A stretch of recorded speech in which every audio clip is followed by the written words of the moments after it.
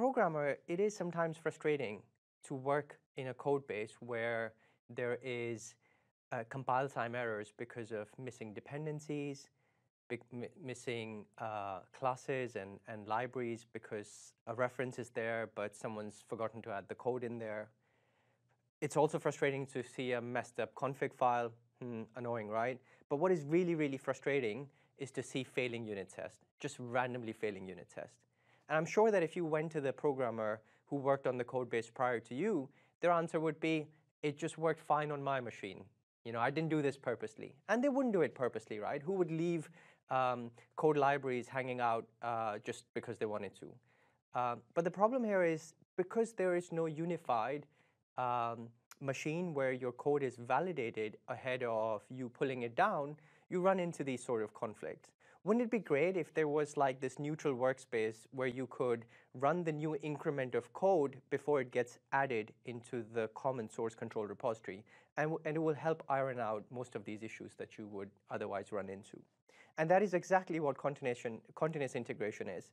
Continuous integration is a development practice that requires developers to integrate code into the shared library several times a day. Each commit is verified by an automated build, allowing teams to detect problems early. If we look at the workflow, you'd have some developers who would commit some code, and that code would get pushed into a source repository, and that would trigger an automated process on a server that is not a developer workstation. And on the CI server, you would have a build, test, workflow. Now, this is the bare minimum that you would have in a workflow. Of course, there is possibility to elaborate this as much as possible by running security scans, you know, code review scans and whatnot. But this is the bare minimal that you need set up in your CI process. And then the results should be fed back to the developers who should then review the results and, and look at improving them. The question this brings is, is there continuous in your own integration? You know, a, um, a robust uh, continuous integration process depends on how robust you make it and how continuously you run it. Um, like continuous integration, like agile, like DevOps, these terms get used quite loosely these days. So you're never sure whether the continuous integration that you have set up in your organization is set up correctly, is reaping the benefits that you would expect it to reap. And so I'm going to ask you five questions to help you validate whether the continuous integration process set up within your organization is set up correctly. The first question I want to ask you is, and keep your hand up if, if the answer is yes, is are developers in your organization committing code multiple times a day to the source control repository? Are the same developers committing at least once a day to the main code line that's used to publish the code into the test environments?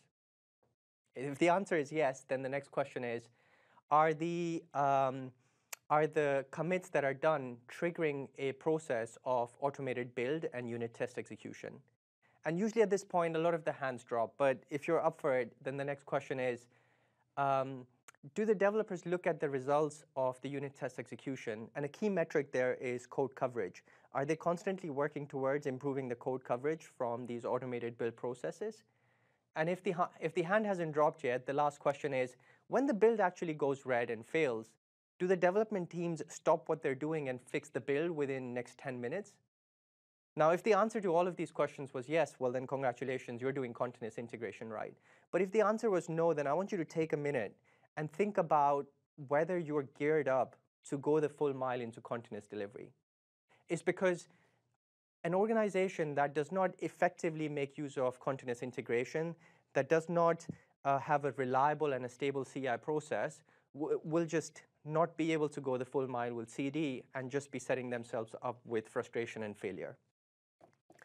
The, the three pillars of continuous integration are version control, our continuous integration system, and our automated build process. The first one, well, I mean, I've listed out some things there, but the version control systems are broadly divided into two categories. There's centralized and there's decentralized. And we'll talk about decentralized and centralized source control systems in a lot of detail in the next video. But for now, what I want to establish is that you need at least a version control system set up. There is no CI without a version control system. A continuous integration system like Visual Studio Team Services, like TeamCity, like Jenkins, and there are a lot more out there.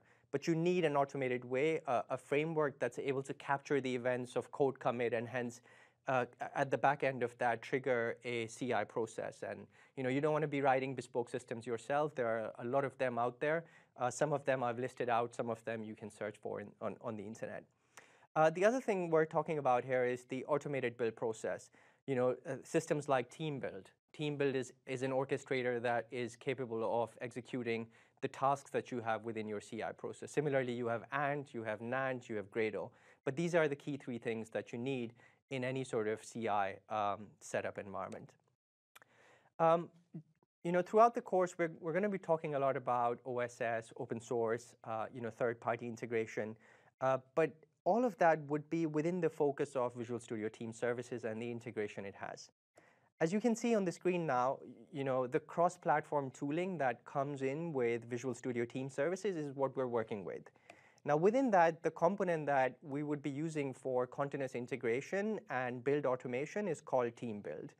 And Team Build not only allows us to set up continuous integration, it allows us to go the full mile by automating other components that need to be uh, automated and some that I want to call out that we will cover in a lot of detail as we progress further in the training is, you know, doing scans for technical debt, identifying technical debt within your code base, um, you know, decomposing your application into smaller packages and then consuming those packages um, uh, to, to break down the dependencies that you have because of a monolithic architecture.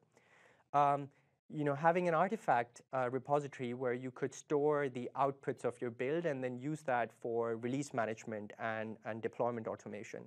And then looking at SQL package management, whereby you know you you can uh, on demand deploy SQL databases and uh, patch them and upgrade them, uh, rather than managing scripts on the side. We'll, we'll look at a robust uh, mechanism that's provided. Um, web deploy that's uh, effectively used to deploy web-based solutions, and last but not the least, test uh, automation using Selenium. Code doesn't exist unless it's, unless it's committed into source control. And as we're moving into this new era of uh, source, um, you know, code-driven concepts where, you know, database is treated like code, uh, infrastructure is treated like code, um, and today, security and process are even treated like code. Um, and if you don't have your code committed in a central repository, well, it's as good as saying that you don't have a single version of truth about your software that you're creating. Um, you know, just talking about the, the infrastructure as code, I would recommend that you go and check out the um, course that I've got up in the library in edX that takes you into infrastructure as code and talks about how you can apply automation to get to the state of nirvana and, and have self-healing infrastructure in place. Um, an interesting trend that that has come out uh, as I was uh, you know fiddling around with Google Trends is um, you know anything that's searched enough is probably being used enough. That's just you know just a hypothesis there, but you know if there's a technology out there and you're trying to implement it, well you know you might not find that it's working, so you're doing do a few Google searches to figure out how it works. Um, and, and so Google search uh, is, is recording all these uh, data points. And then when you go into Google Trends, you can pivot the search results over duration of time uh, by category. And in this case, the chart that I've created, I've done a, a pivot on a compare on centralized versus distributed source control systems for um, you know computer um, um, and and um, and and IT IT as a business area uh, over the last uh, 10, 10 to 15 years. And you know, there's a very interesting trend that you see there where um, uh, SVN, which is the centralized uh, source control system, uh, showing up in green, was at its peak back in the days when Waterfall was the official process for delivery, right? Kind of makes sense because centralized version control systems are best suited for that model of delivery. Whereas the distributed source control system, in this case Git, started to spike when Agile and Scrum came into being. And more so over the last five, seven years, where open source has really taken the front seat. Now, you know, this is just uh, the, the, trends off of Google, but uh, again, don't use that as the pure basis to make uh, the, the judgment on the distinction. I will talk through the, the data points so that you're better, better equipped to take that decision. Um, centralized source control system in this case, I'm talking about Team Foundation version control, but you know, it's, it's similar to SVN. Um, the core strengths and, and the best use. But before we get there, the thing that if you haven't used centralized source control system is a centralized source control system has one server somewhere which acts as the central authority. And anyone who wants to pull code down from the central server needs to connect up to it. So as you connect up to it and download the code, you create a working copy that of the code base that you're working on. Now you don't tend to download the full history, which means you've only got the last change that was committed for the file or for the bunch of files that you've downloaded, which means if you wanted to, uh, you know, you would always need to be connected back to the server to get the latest and greatest back from the server. So the moment you go into the file to edit it, it sends a notification back to the server saying, you know, that I'm about to edit the file and it records that. So if someone else tries to edit the file, it will tell them that this file is already being edited by person X. And it's able to do that because every time you want to edit something, uh, you have to go back to the server and pull that information down. And in the process, the server records these key metrics, metrics for you. Um, now, what that establishes is that in a centralized source control system, you always need connectivity back to the server. Now, over the last few years, Team Foundation version control uh, released another type of workspace, which is called local workspace, which includes the history of the last two changes, you know, the current and the previous, which means you don't always have to go back to the server. It's better than absolutely centralized, but it still has its shortcomings. So what are the key strengths of a centralized source control system? The first is it easily scales to very large code bases. You know, a few years ago, Microsoft themselves had, uh, you know, all the teams using Team Foundation version control, and they had huge code bases as huge as 500 gig to a, a terabyte, and it can deal with that no issues. The other benefit that it offers you is very granular permission control. What that means is if you wanted to uh, apply permissions at the file level, and audit permissions at the file level, this allows you to do it because you have that constant connection back to the server where you can validate if someone's authorized to see that file and then deny them if they're not. Uh, it, it permits monitoring and usage.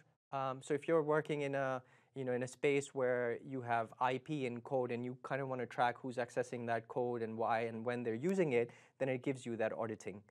Um, what it also allows you to do, do is set up exclusive locking. So if you go on the server and say, I want to exclusively lock this file out so no one can edit it, then it allows you to do that. It's best suited, as I said, for uh, large code bases. Uh, it's best suited when you want to have an audit and access process. And it's also meaningful to have TFVC as your preferred source control system if the files and the types of projects that you're creating within that are hard to merge. For example, a few years back, um, you know, SSIS or BizTalk, these kind of, it was very hard to merge them. You literally had to override the code in branch B from branch A if you were going to merge them. And they're really just suited for centralized, where you can have exclusivity in the locking uh, and have limited number of people make the changes, so the merging becomes easier. Distributed, on the other side, as the name suggests, is distributed. You know, you don't have a central authority every node is a server in itself, if you want to put it that way. That could be on a client machine on, or on a server, doesn't really matter. Um, but the biggest benefits with distributed is that you have cross-platform support. So if you uh, were working in a team where you had people working on Windows, Linux, Mac, then this would just work, where all of you across all of the devices, types of devices and types of OS could use the same uh, source control model. The other benefit that it gives you is it has a lot of automation baked in into the source control system. And we'll talk about that in future videos like Git hooks, uh, like a pull request, um, and you know really fantastic features that allow you um, to review the code and automate a lot of the processes that you would run on the code. It has complete offline support. When you clone a repository, you get the full history of the repository, which means you know you could go back uh, to as far back as you wanted without having connectivity back to the server. The drawback, of course, is with offline connectivity, uh, with, uh, you know, with full history, if the history was really, really large or if the code base was really large, that operation would take a rather long time to complete. And that is why Git is best suited, or distributed source control systems are best suited for smaller code bases, not for huge code bases. Um, the other benefit um, with, uh, with uh, this type of code base is that it's got a very enthusiastic user base. And a lot of this user base is evolving the underlying framework in the open source. So it's gaining a lot of new features because of open source uh, contributions to it. It's best suited for small and modular code bases, uh, you know, for highly distributed teams, for teams that are working across platforms, and especially for projects that are greenfield. So without further ado, I'm going to uh, flip into a demo and we'll talk about, uh, you know, I'll, I'll show you the code hub within team services. I will give you a brief walkthrough of how the code hub is plugged in into the different parts within team services um, and how that overlap really helps you benefit from the integration that it offers. Alrighty, so I'm going to navigate into my Visual Studio Team Services account here. Now, if you don't have a Visual Studio Team Services account, you can navigate to visualstudio.com and create a free account for yourself. In this uh, Team Services account, I've got a demo project already. Now, if I go into the demo project and I click on code, it will directly take me into the code hub.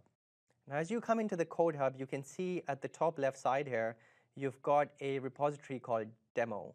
Now this demo repository is one that I'd created when I created the project, but as you can see, I haven't put any code in here, and that's why it's saying that I should initialize the repository by adding a README file. I'm not going to do that. Instead, I'm going to pull this down and show you some other repositories that I have here as well. Now, one really cool feature that's available within Visual Studio Team Services is that it gives you the ability to import an existing repository.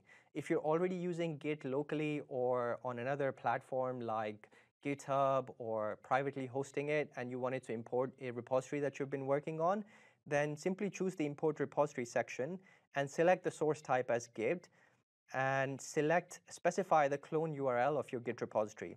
Now I've got a Git repository on uh, GitHub that I have been working on. So I'm going to click on clone or, or download and copy the, the endpoint, take it back to team services, put the clone URL here. Now, if this was a private repository that needed authorization, then of course I could select this box, specify my username and the personal access token. But because GitHub is open source as is and my project as well, I don't need to specify that. And here you just specify the name of the target uh, repository that uh, you want to create the, at the point of the import. So for demo sake, I'll call this import from GitHub and click import. Now, the import process entirely depends on how big your repository is. My repository is pro probably a, a, few megabyte at best, and so the import process will finish fairly, fairly quickly. There you go, the import process is succeeded. Now, if I click on the files, I can see my full code base has been imported, um, and the history is intact as well. So if I go and click on history, I can see all the commits that were done. Now, this is really, really cool, right? If I had tags or if I had uh, branches, multiple branches and history, then all of that gets ported over. Um, you know, which means you could just finish something here and start from exactly where you left within team services. Um, what this also gives you is the ability to import a repository from TFVC. Now, within team services, I have a project called Centralized System that has some code in it. As you can see on your screen now, we've got a branch called main, and within the main branch, we've got some legacy code lying in there. So I'm going to take the URI of this path, bring it back in here. As I have TFVC selected, I'm going to stick that in here. And then I have an option to migrate the history from this code base as well. You know, I can go as far as 180 days worth of history, but you know, if you know, this is something I created yesterday, so uh, it's not going to have a lot of history in there. You have to call out what you want the target uh, repository to be called, and I'm going to call it import from TFVC. Click import. Oops, I have a space in the path here, so I'm going to remove that and try again. Brilliant. There we go. Again, this is a tiny, tiny um, uh, centralized uh, repository, so it should probably be 5 megs or so. So the, the import should be fairly quick. There we go, the import is complete. If I click on files now, and I click on history, you can see I've got the exact changes um, in there. And if I click on the item, it actually does a comparison as well, so I can see, uh, you know, I'm really putting the history to use now. So uh, with that, uh, you know, I can uh, import from existing repositories. I can go on the manage repository section where I have the ability to specify permissions. So if I wanted to lock down the master branch, for example, here, I could do that. At the same time, if I wanted to, um, you know, give certain people access to this repository and specify what sort of accesses they had, then I can control that from here. There's also this really cool thing called branch policies, which we're going to cover in a separate video in great detail. Um, but you know, you've got all the admin functions here as well. So because I'm the collection administrator here, I have the option of deleting the repository if I wanted to as well. Done. Now, if I go back, I want to show you a few more things here. The first thing I want to show you is uh, the Git um, setup within Visual Studio Team Services is the same Git version that you have on in the open source. Um, so if you wanted to use SSH, for example, then it allows you to do that. If I navigate into the uh, security section here, then in the SSH public key section, I can add an SSH key. I've already added one for the laptop that I'm using, but you could, of course, use the instructions here to generate a new SSH key and then add that here. Um, the other thing I wanted to quickly show you was the integration that the repository has within the other parts of Visual Studio Team Services. For example, if I go into the dashboard section, there's a widget available that will show me the churn in the code in my repository. Let me click Add, click Configure, and then as you can see here, it's, it's showing me that I've, from the import here, that I have two uh, commits in the repository in the last seven days. So is if uh, tracking the code churn is something that you're interested in, then the out-of-box widgets kind of support that. The other thing that I wanted to show you was if you go into the work section in the backlogs um, and select on user story, I've got a user story here. Team Services al allows you to create Git repository right from within work items here. So um, let me just create a new work item, call it maybe demo integration, right click that and say new branch. And it gives me an option here to say, all right, this work item, you want to create a new branch. You know, what branch do you want to spin this off from? What is the branch name? And it just associates this uh, work item and links it so that you have that end-to-end -end traceability in place.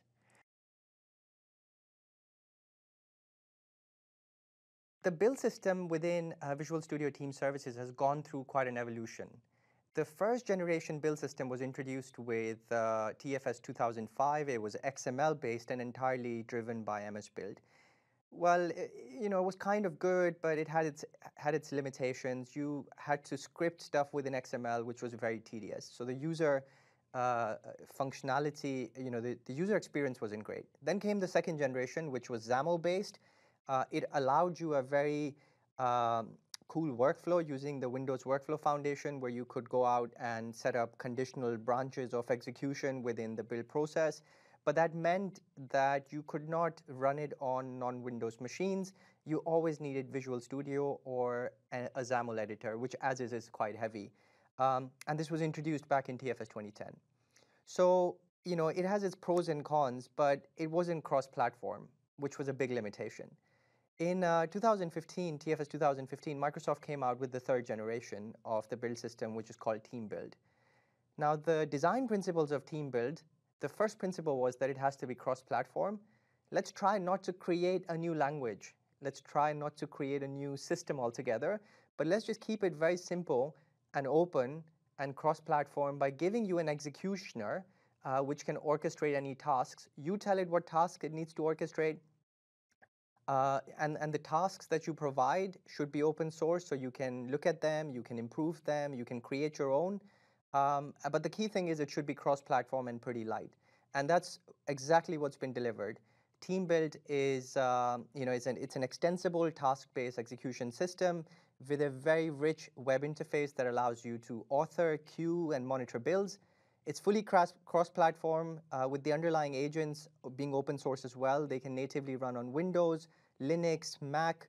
Um, you know, it provides you out-of-box integration with centralized and distributed version control systems, and it works on any platform for any app.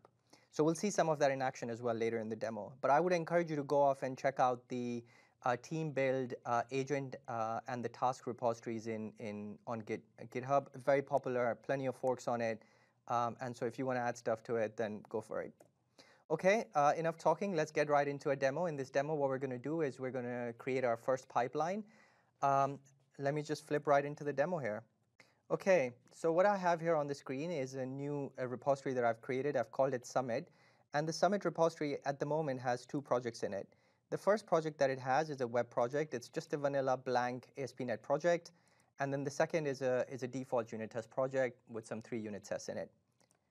If I go back here and I click on my repository, I have an option to create a build for this repository. If I click that, it takes me right into the build workflow. Again, you don't have to follow this path. You can, of course, navigate directly into the build hub. But by choosing that button, it pre-takes all the repository configuration um, and can detect a few things in the way of doing that. So, um, you know, the project types we have are best suited for Visual Studio at the moment. So let's select the Visual Studio uh, template. But again, you don't have to select a template if you're doing something bespoke. You can obviously start off with an empty process. Um, if you scroll down, you'd see that there are plenty of pre-canned uh, templates available. So if you're doing Android development or Maven if you're doing Java or Service Fabric, or if you're just taking stuff on from Jenkins, then all of that integration uh, is available and it's, uh, it's pre-canned so that you don't have to write it off yourself. So when I click apply, it gives me the, the list of tasks for my Visual Studio build type.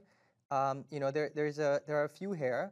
Uh, the first one is get sources. Now at the moment I'm getting the sources from my repository here called Summit but by no means does the repository need to be within Visual Studio's team services. It can natively compile and integrate with GitHub, with your own custom Git repository and Subversion as well. The next option is to restore all the NuGet package references that I've taken within my solution. Again, this is going out to the public repo, but if you've set up your own private NuGet repo, then you can configure the path to that. The build solution just uses MS Build to uh, detect uh, and compile the code um, and then the test um, task is just looking for test using the DLL naming convention that's specified here. And then um, there's an option to specify which version of Visual Studio you want to do uh, use for the test execution. I'm going to change the, the, the test task from V1 to V2. Again, that's a pretty cool feature within the team build system where you can have multiple versions of a task available within a pipeline. And uh, the preview tasks, you're not forced to pick them up right away, but it starts to show up here to say there is another version available, you might want to try it out. And in this case, we can try it out because this version 2 offers um, code coverage uh, natively. So I'm going to change the version to 2017 and enable um, picking up the, uh, the code coverage so that once the tests are executed, I can see what portion of my code they're, they're actually covering. The rest of the settings you don't really have to change. This is simply publishing the symbols, i.e. the PDB file, so you it kind of aids you when you're debugging your code. And then the next option is to take the compiled bits and save them in an artifact repository, which is hosted within uh, Visual Studio Team Services. So without making any further changes, I'm simply going to save this uh, build, and I'm going to go into the options section and change the repository from hosted to hosted Visual Studio 2017. That's because I'm taking a dependency on Visual Studio 2017. At this point, I'll click Save again. I'll go back to Task, and I will click, click Queue. Now, at this point, I can review uh, the specifications and click Queue. At this point, Visual Studio Team Services is going to take the, the definition, uh, identify an agent up on the server, and then pass over the definition to the agent, which can then start working through the tasks that have been defined. It can usually take a minute or two for the agent to be available, but it's pretty quick. As you can see, it's starting to execute uh, the, the build. The first task was to go and uh, download the source code. Um, it's actually going to do that once it downloads the actual tasks that it needs to execute. Now, this is another great uh, enhancement in the team build uh, now uh, as compared to the previous version where uh, this is uh, giving you the live view of uh, the agent. Previously, you didn't really have a live log, so you had to wait for the build to finish to figure out what was going on. In this case, the console gets updated in real time.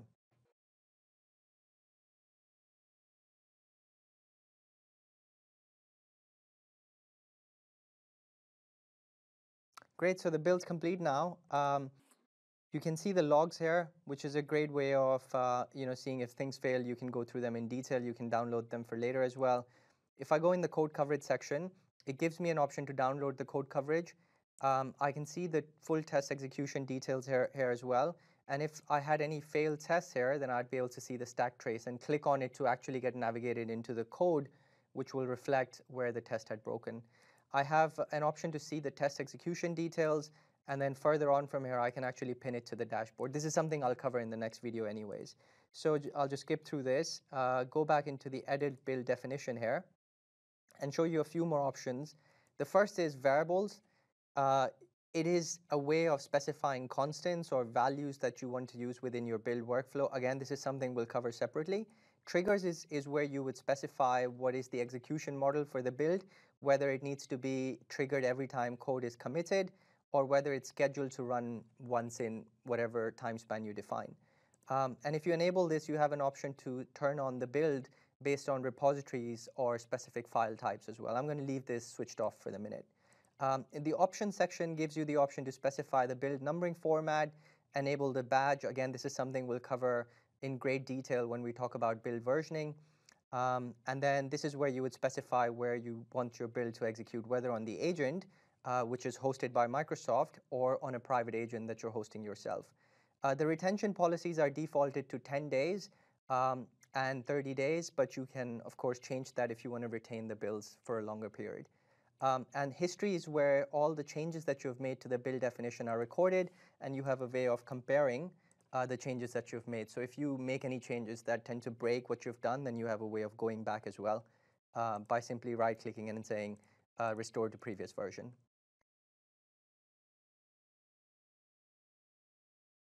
Are you and your project teams in debt? There's only one way to find out.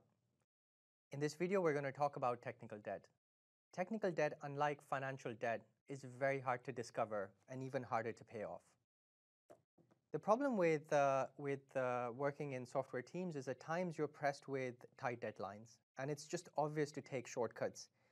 Um, and these shortcuts manifest themselves as, as shortcomings within the software that you're creating, when you come to fix or add new features, you're limited because you have to go and address these issues first, which impacts your overall ability to deliver software. Now, as you can see, we're going to focus exclusively on technical debt in the next few videos. And in this video, we'll talk about what technical debt is and, and how to identify it and what are the common issues that, um, that you will run into when you have technical debt.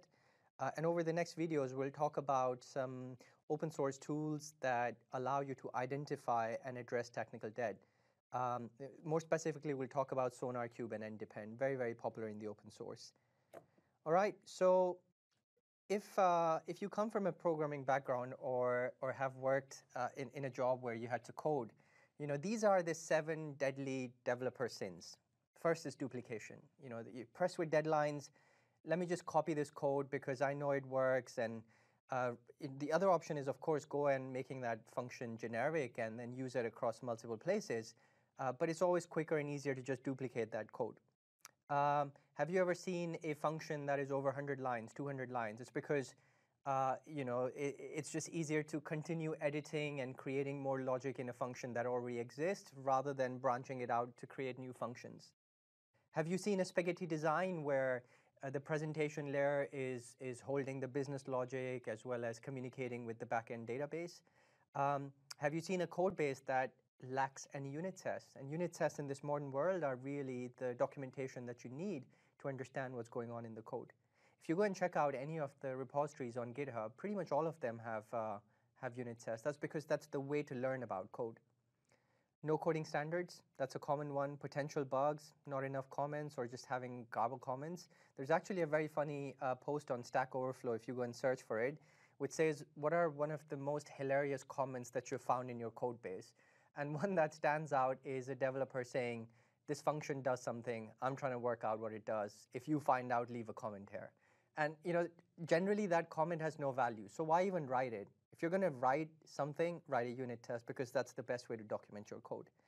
Um, but, but these things are quite common. When you look at a code base, uh, these things happen because people are short of time or they're not um, you know, technical, uh, mature enough to know what's the right way of implementing stuff.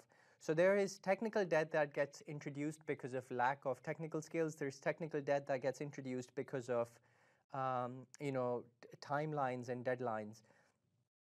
Uh, generally, uh, project teams have some sort of process to review code, um, and really it looks like this. If you're writing good code, there's going to be less stuff talked about when the code review happens. And when there's not so good code, then things can go pretty nasty. But while this is a way of measuring how your code is, this isn't a way of consistently measuring your code across industry. You know, number of shouts per minute means nothing. You can't really benchmark the quality of your code with that. You know, when, when I talk about financial debt, if you take on a loan, you know, you get this statement every month telling you that you're this much in loan and this much in debt and that you can make a plan to pay it off. But in code, unless you have a way of tracking how much debt you currently have, you can't really make a plan to pay it off. And so what ends up happening is exactly this. You know, your pipeline to deliver quality, your pipeline to deliver new functionality, your pipeline to get uh, and, and you know, engage with the business, to explore new opportunities, it's just it's, it's not practical anymore. It's it, it's penetrated. It's broken, and so in real life, you know, and this is this is data coming from projects that I worked on. Is uh, you start off with this amazing sprint one where you've delivered about 15, 20 story points worth of work, but taken some shortcuts. So you kind of pay that off in the second sprint and third sprint and fourth sprint. Following on from the sixth or seventh sprint, you have so much debt in your code, so much duplication that you touch one method, no unit tests, which means you impact another part of the application, which introduces more bugs, you end up just fixing bugs rather than adding any new functionality or really delivering any new functionality to your customers.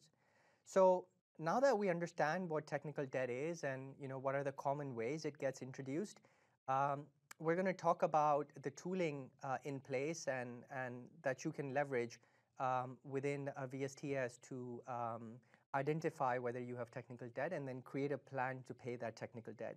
This tooling also allows you to measure uh, your technical debt in an automated fashion. So pretty much as you commit code, you get a view of how much debt are you introducing in the code or how much debt you're paying off that already exists in the code.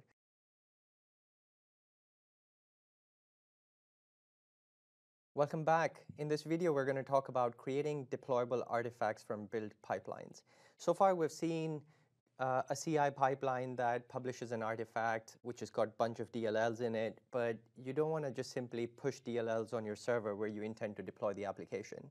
If you're doing web-based development, then web deploy has been a, a, a means of deploying web-based application. I think it was it was introduced back in 2005, 2006, um, and has significantly matured over the years. And the tooling around it has improved as well. So while you can create web deploy packages from Visual Studio, you can also create web deploy packages right from within Visual Studio Team Services. Um, and the process of creating it, it's so simple that you know you would question why wasn't I doing it forever. Um, all right, so this this video specifically focuses on build automation and within build automation, the build artifact creation process.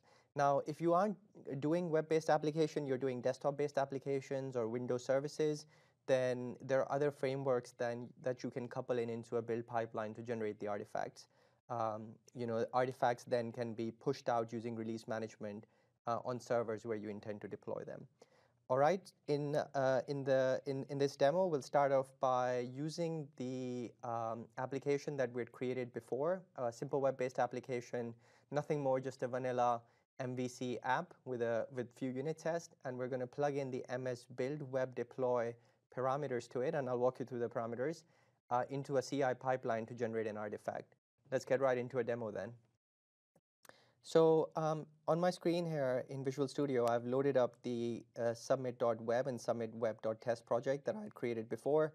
You know, nothing more, just simply a web app. Let's uh, run this up, F5 it.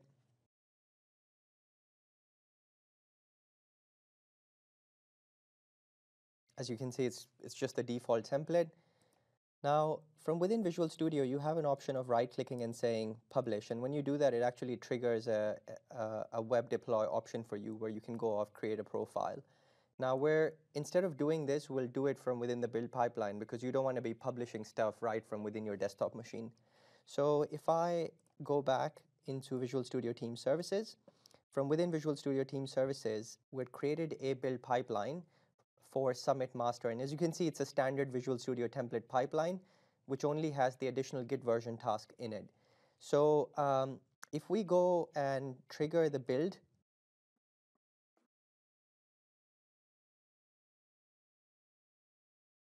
you would see that uh, when the build completes that there's not going to be any specific build output. We'll just have DLLs being generated.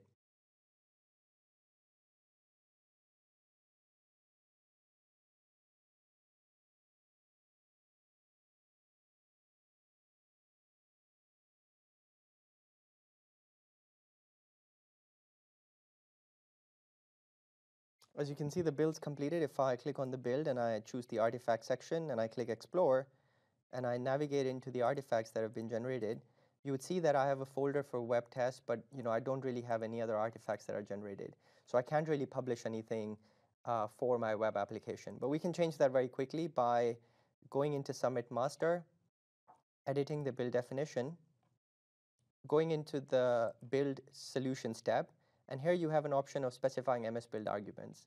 Now, uh, MS Build has plenty of uh, arguments that are available, and you can go and look it up on, on Google. Uh, but the ones that we are interested in are these ones, and I'll explain them in a second.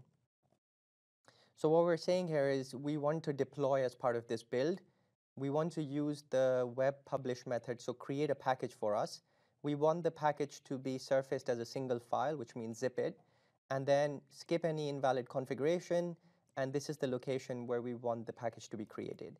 Now, you of course want the package to be created in the build staging area, and as you can see, this is a predefined variable existing uh, within the, the build, uh, uh, you know, the, the team build solution, so you don't have to go and handcraft an output destination yourself. So if I just simply include this and uh, queue a new build now,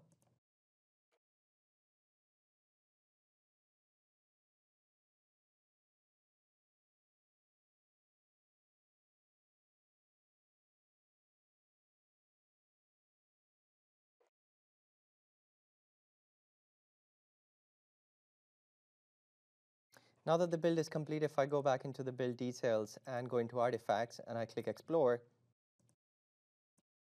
you can see that in addition to the previously generated DLLs, there's now, you know, this was being previously generated, but in addition to that, that we have this section at the bottom here, and this section has the summit.web.zip. Now the zip file has the relevant binaries that are required to publish the application using uh, web deploy, in addition to that, it's created a parameters file, which is an XML file. And I can use this file for tokenizing the configuration files that I have within web.zip. Um, I'm going to cover tokenization and, and config uh, uh, value replacement in a future video, but just so that you know that it gets generated as, as part of the, the MS Build web deploy workflow, so you don't have to go off and seek other ways of tokenizing your config files. So, so with that, you know, we saw in this video how easy it is to actually uh, generate web packages uh, using uh, your build system. Now, you know, if you are still publishing your web applications manually by taking DLLs that are compiled on your server and copying them across to production, then you're doing it wrong. It's when things fall apart and you question, can we recreate the app on another server, that you go and find that you don't even have a single source of truth from where the application originated. By doing this, you are one, committing your code into the code repository and generating a, a full fidelity package um, from a build so you've got that end-to-end -end traceability. And in future video, we'll see how we can just simply take this package, attach it to a release definition, and use a release, release agent to directly deploy onto the, onto the target machine as well. But this is the building block to that. Now that you've matured your practices and the technical delivery capabilities to get to a continuous delivery stage, it's worth looking at what it would take to go the full mile into a continuous deployment mode of delivery. So what is continuous deployment? Well, clearly continuous delivery means being able to deliver, having a deliverable code base at all times, and continuous deployment means you're always deploying. Now remember, deploying code is not equal as releasing code. As long as you can deploy your code but hide it using feature flags and some of the other techniques, you have a cap on what the customer can see and what they can't see. But having the ability to constantly deploy means if there are failures, you're better placed to recover from them in near real time. Now, I've redone this slide because there's so much we need to talk about if we look at continuous deployment. In terms of continuous deployment, the, the, the two key things we're going to cover is staged deployments. This is a capability that's available within release management. It's pretty neat because you know traditionally when you've had to do phase deployments with servers that are load balanced, database that are load balanced, it's always been tricky. But having a, a feature that's baked in into the product that allows you to roll a feature out uh, you know, in a format where you could command it to roll the feature out on 20% of the servers or 30% of the servers, and it doing the heavy lifting is, is pretty impressive. Uh, the other thing we're going to cover is feature flags. How feature flags can help you constantly deploy code in production but hide it, at the same time run experiments in production where you can uh, enable features for certain customers, gather feedback, or even not for customers, for yourself, you know, as a developer, if you're releasing or a new code into production, you want to gauge how well that code is performing before you open it up for everyone. Um, and then it gives you a way of deploying and testing with real production data. A really, really useful thing to have, especially if you're going with uh, continuous deployment. Then we're going to look at App Insights, um, a framework that allows you to capture telemetry back from, from, from the real world and then leverage that telemetry to improve your product. Um, so let's talk about practices for continuous deployment. By no means these uh, you know, continuous deployment practices means that you can forget what we learned in the last module. These only supplement uh, and, and, and go forward from what we've already accomplished. The first one I want to mention here is microservices-based architecture. Now, clearly, you cannot have a monolith application and continuously deploy to it. It's, it's just not practical. A system that is so coupled together will fall over if you try and deploy to it uh, ever so often. You need an architecture that's capable of being decomposed that can have some sort of circuit break, break pattern. So if things fail, for example, they don't take the entire system down. Um, and microservices as an architecture just lends itself to that, where you could run up some microservices in containers. By the way, containers uh, is a course that is available on edX, and you should absolutely go and check it out. Um, and then what you could do there is um, spin up a new instance of a container, scale that, and then start redirecting the traffic there. But you can't do all of that unless you have a, a, an architecture in place that, that allows you to go the continuous deployment mile. The other thing that's worth considering it, uh, is a minimal viable product approach. You know, you have to think in small increments, increments that make sense shipping. There's no point creating an Eiffel Tower when the customer only needs a Seattle needle, right? I mean, the whole point is deploy in small chunks and engage your customers to get real-time feedback. And that's best done if you keep the mentality to a minimal viable product so that you can see whether it meets the business priorities or not. The other, the other uh, thing that you need to remember uh, is, you know, if you're going continuous deployment, there's no looking back. You, you cannot have rollback systems in production. You, you can only have roll forward. So when there are failures, you fix the code and you roll a new process out, and that, that kind of fixes the issue. Um, clearly, that means you need a pretty quick and neat release process, a release process that is capable of allowing you to roll out releases in near real time.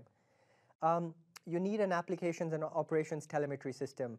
I mean, you can't be continuously uh, deploying and only finding out from customers by service tickets when things are broken. You got to be ahead of the game. You got to have proactive alert alerting, and even a step further, proactive alerting that can self-heal the infrastructure. Events that can capture and alert the, the systems that they need to scale up, scale down, amend, append, and that can only be done with, uh, with, with systems like App Insights, New Relic, and some of the other ones that are out there.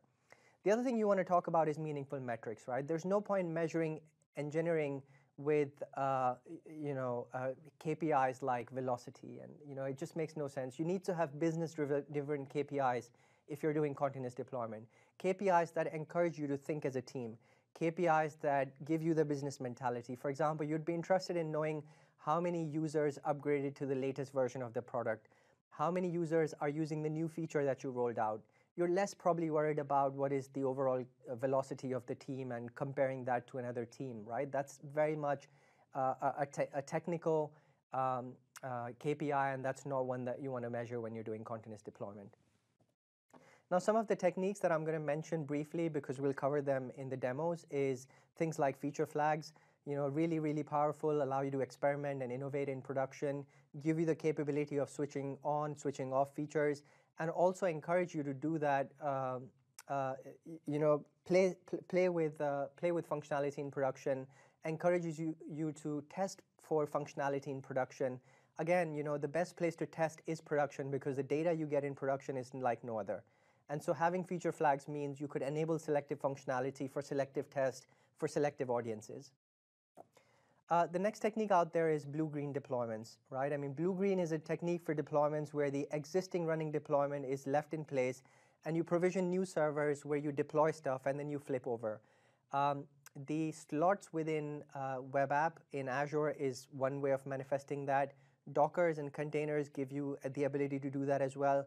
I mean, some of the some of the the, the Docker stuff is really impressive, where you can spin up new containers and have uh, the processes consume those containers, and when you're confident, you make those containers live, and the other ones you can start to phase out over time. Uh, the next technique worth mentioning is canary releases, where rather than doing a, a, you know like a phased deployment, you first test your deployment on a, a, a tranche, and then once you're happy, you kind of load balance the traffic across and then start to service the other servers. Again, a very impressive uh, and useful technique, one we will slightly cover when we talk about um, you know, phased deployments, a feature that's available in release management. The last thing I want to talk about is you cannot be continuously deploying unless you have security in the fold. I mean, the cost of a data breach today is significant, but the brand cost that it brings is irreparable. And I say that because I've seen organizations go down because they've leaked, uh, leaked PR data, customer data. And so that's just unacceptable. But you don't want to slow down your delivery chain because security are going to take significantly longer to validate whether systems are secure or not. It's all about pushing left. It's all about bringing them into your workflows of automation. It's all about having the pipelines being capable enough running the security checks that security would run otherwise. And, and you would see that as you take them into the fold, the collaboration between the two teams would improve, which will only improve your ability to deliver code, deliver functionality, and deliver even faster. Now that you've mastered continuous integration and seen all aspects of um, you know, writing better code, um, then having that code being inspected, um, you know, having that code produce an artifact, you're probably thinking, you know, what is there left now. I've, I've got a CI process that can generate artifacts. We're kind of good to go, right? Now, I, I get this uh, question asked a lot to me. Uh, that is, uh, you know, what can we automate? We have a process that works, and why do we need to automate it, or what do we need to automate?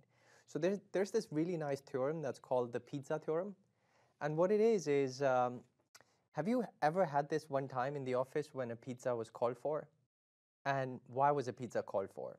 A pizza was called for because something broke in production or someone had to do manual testing. So their manager wanted them to sleep during the day and come during the night because a release had to happen and they had to take down the systems and it was going to be a long night and pizza was called for. Uh, or whether it could be when there was a problem in production and you had to sit down all night comparing server A to server B, pizza was called for. You know, and, and as a trade-off to having you do manual activity, you're offered a pizza. But the problem here is that while pizza is cheap and so is labor, you cannot scale an operation that's driven by manual activity. So while you have a full-fledged CI process, to take it the full mile, you need to have a continuous deployment lifecycle. And in this module, that's exactly what we will be, what we will be covering. We'll take our CI process, mature it so that we can go the full mile into a CD process. And when I say CD here, I'm referring to continuous delivery and not continuous deployment. Continuous deployment is something we'll talk about in the module after that. So join me in this journey where we will take our continuous integration output, look into release management, which gives us the automated provisioning and automated deployment capability.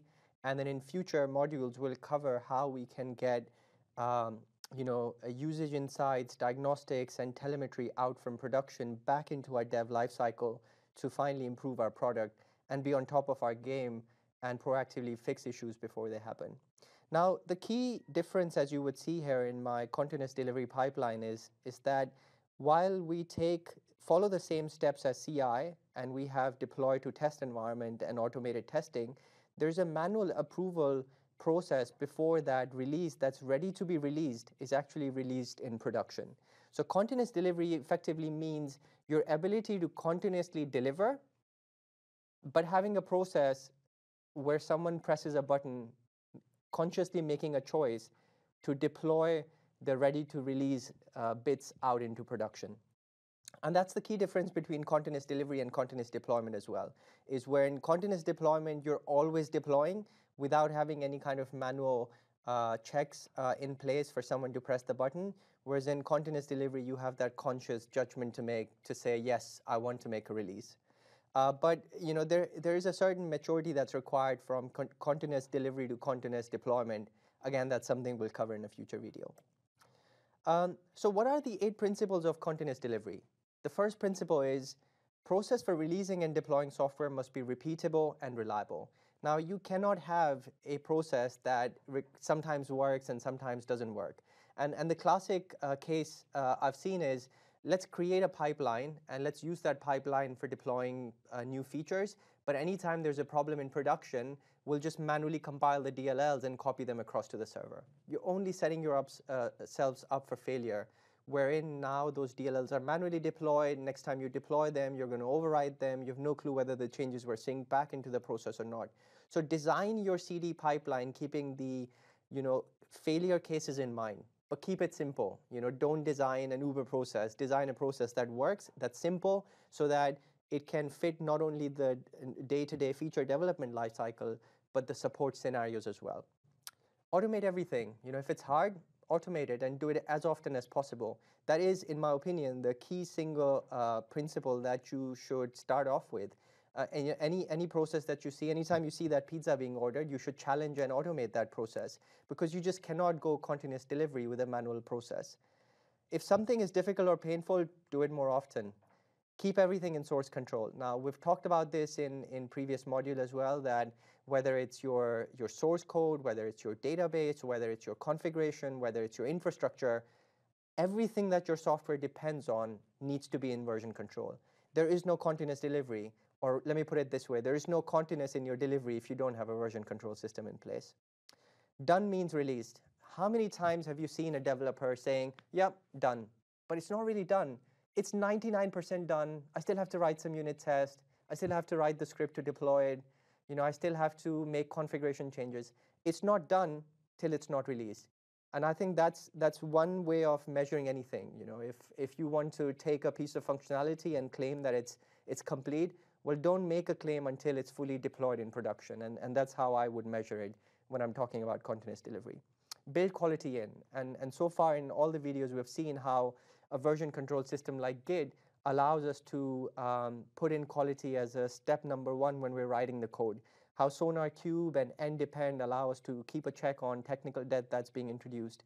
How CI uh, process allows us to quickly refactor our code, look at the code coverage. So you have to build quality in from day one.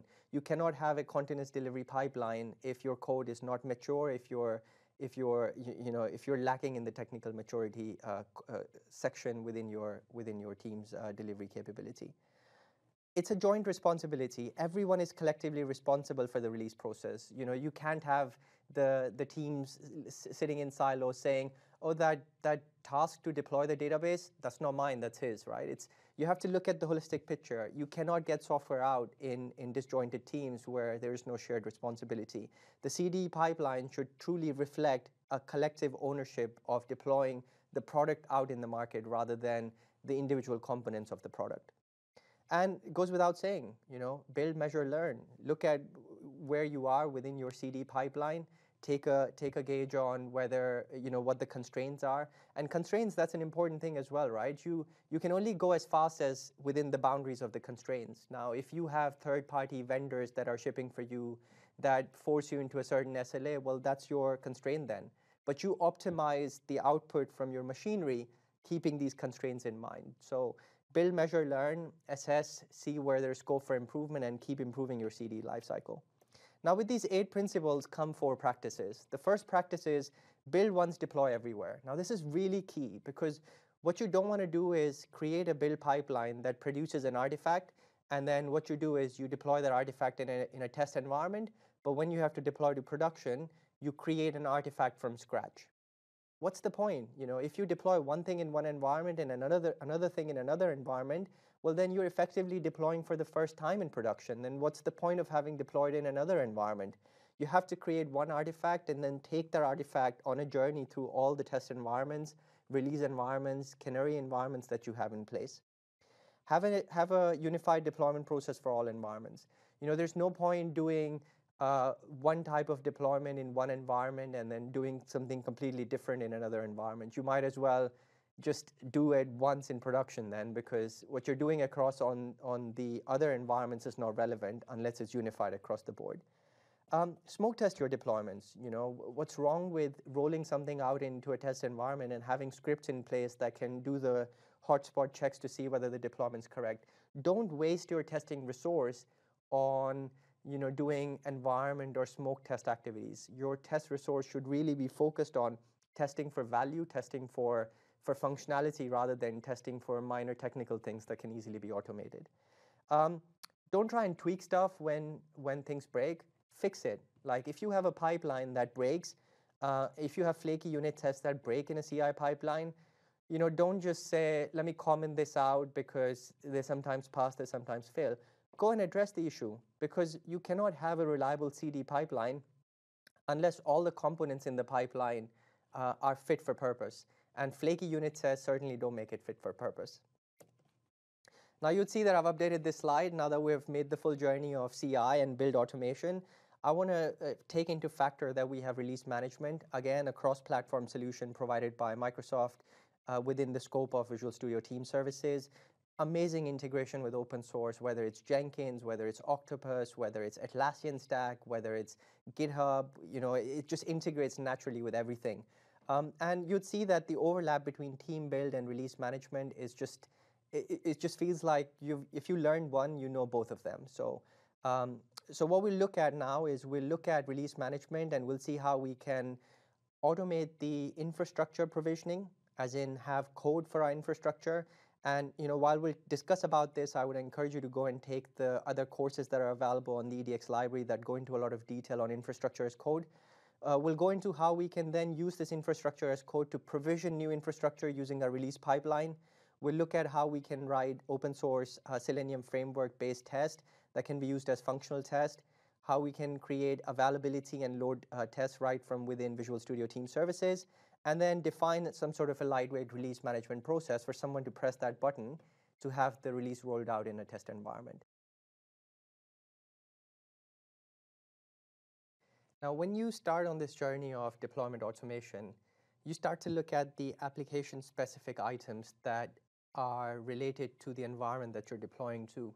Now, if you're only doing a one-off deployment or you know maybe two deployments in a day, it's still okay to manually transform the config. But I must warn you that manually transforming uh, or updating the config file per the environment introduces an element of risk where you may accidentally forget to update the config file and it may point to another test environment database. And you may start to get you know, erroneous uh, outputs in your application wondering, why has it suddenly stopped working? Only to figure out that it was a config uh, value update that uh, was, was skipped as part of the rollout of the application on the test environment. Other scenarios where it can impact you is I've seen teams taking uh, backup of applications from production to set it up on test environments. And it can be very expensive if then you forget to update the connection string. And provided there is no fence of permissions, you could then accidentally end up writing into your production systems from your test systems. You know, I've seen that happen in, in customer sites where there isn't fencing in place between test environments and production, taking a backup, not having an automated process to sanitize the environment can cause these issues. So both from a uh, you know, speed point of view, as well as from a resilience point of view, it makes sense to have an automated process for running the config transformation. Now, there's a full course coming on the edX library uh, very soon, which will talk about config management, not only from an application point of view, but from a server point of view and overall configuration management. In this video, we're very much just going to focus on the application configuration transformation, and, and that too look at you know, simple things like connection strings, things like log folder locations. These are settings that you have in app config files and web config files that you just want transformed as you roll these out into test environments. This video is very much focused on the, the deployment automation side of things, more specifically to the provisioning and the deployment of the application. Okay, so uh, let's get into a demo. So I've got the same pipeline uh, that we have been setting up for summit.master. And in this pipeline, I've added a new task called the replace tokens task. Now, uh, you can search for this task called replace. Um, and if, if this doesn't show up here, and the chances are it won't, is because it's not a Microsoft provided extension, it's an open source extension. So you have to go into the marketplace and search for replace token and then install it uh, for your instance of Visual Studio Team Services. You'd see that you're spoiled for choice here where there are so many tasks available for tokenization.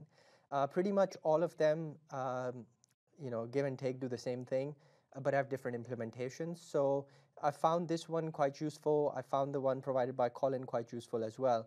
You know, in essence, one gives you a, a regex format that is capable of scanning all the config files across your application and then using that regex format to identify if it has any matches and then it looks at the variables, uh, either the environment variables or the application variables that have the same matching name to one that is being tokenized. And then where there is alignment, is it does the replacement. Let's see this in action. So within the pipeline now that we have the task, let's click on the task we have an option to say what is it that we want to transform. Now in this case, I'm transforming an XML file and I'll explain why. But you could have an option to transform a config file, whether an app config, you could make it quite loose with wildcard characters, or you could make it very specific and generic, uh, very specific to a, a one specific um, configuration file that you want to update. And again, you can clone uh, this uh, multiple times if there are multiple config files across multiple solutions that you need updating. Now, as I'm doing this in the build, I'm running this step before I'm creating the package, which means I'm updating the configuration for sanitization or for packaging.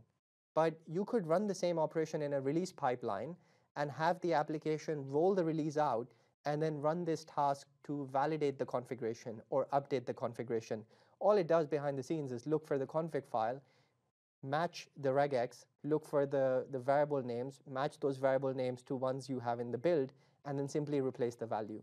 And because the build infrastructure allows um, you to specify variable names that can be encrypted, it just sits very nicely together where you don't have to manage passwords in a separate password save or in separate config files or Excel spreadsheets. So if we look at this here, um, it also preserves the encoding of the file, which I think is quite good, but you also have the option of specifying exclusively what the encoding should be if this is something you want to enforce in your config files as well.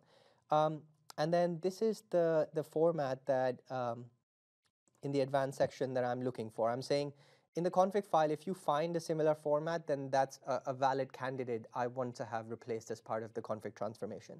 Now I need to make one additional change to the code base, and I'll show you what. So if we navigate back to the code base and open up the summit.web project, we have to add an XML file called the package uh, called the parameters file. Now the parameters file is uh, is just a collection of parameter values that you want updated against your config file, and it supports um, XPath. So I'm basically saying here, you know, one of the parameters that I want to replace is the name of the environment.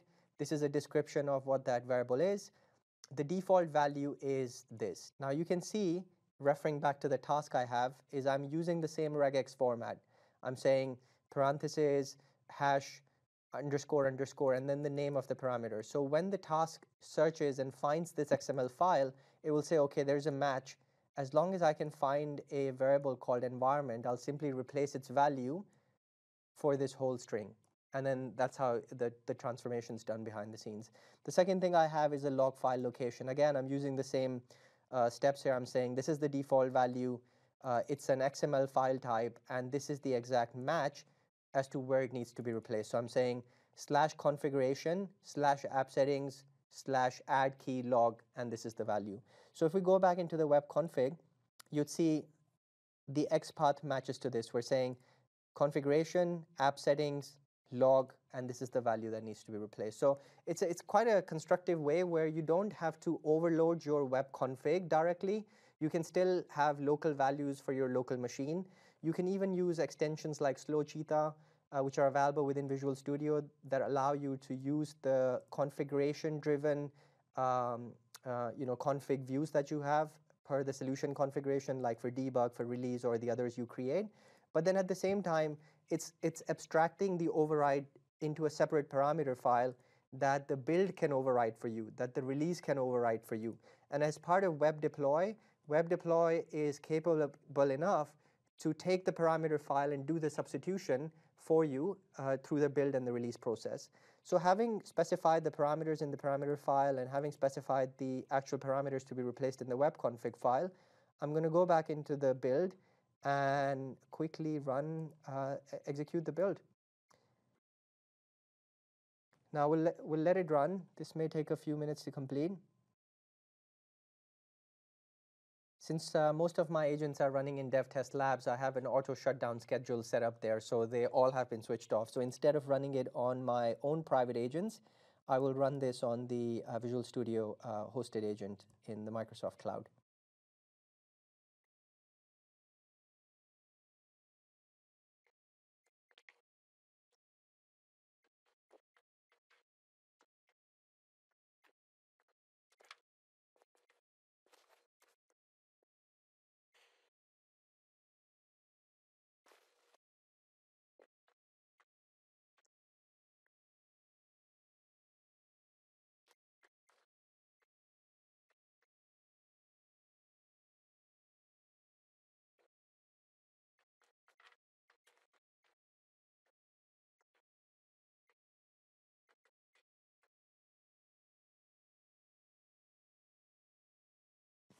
Right, so the build's complete here.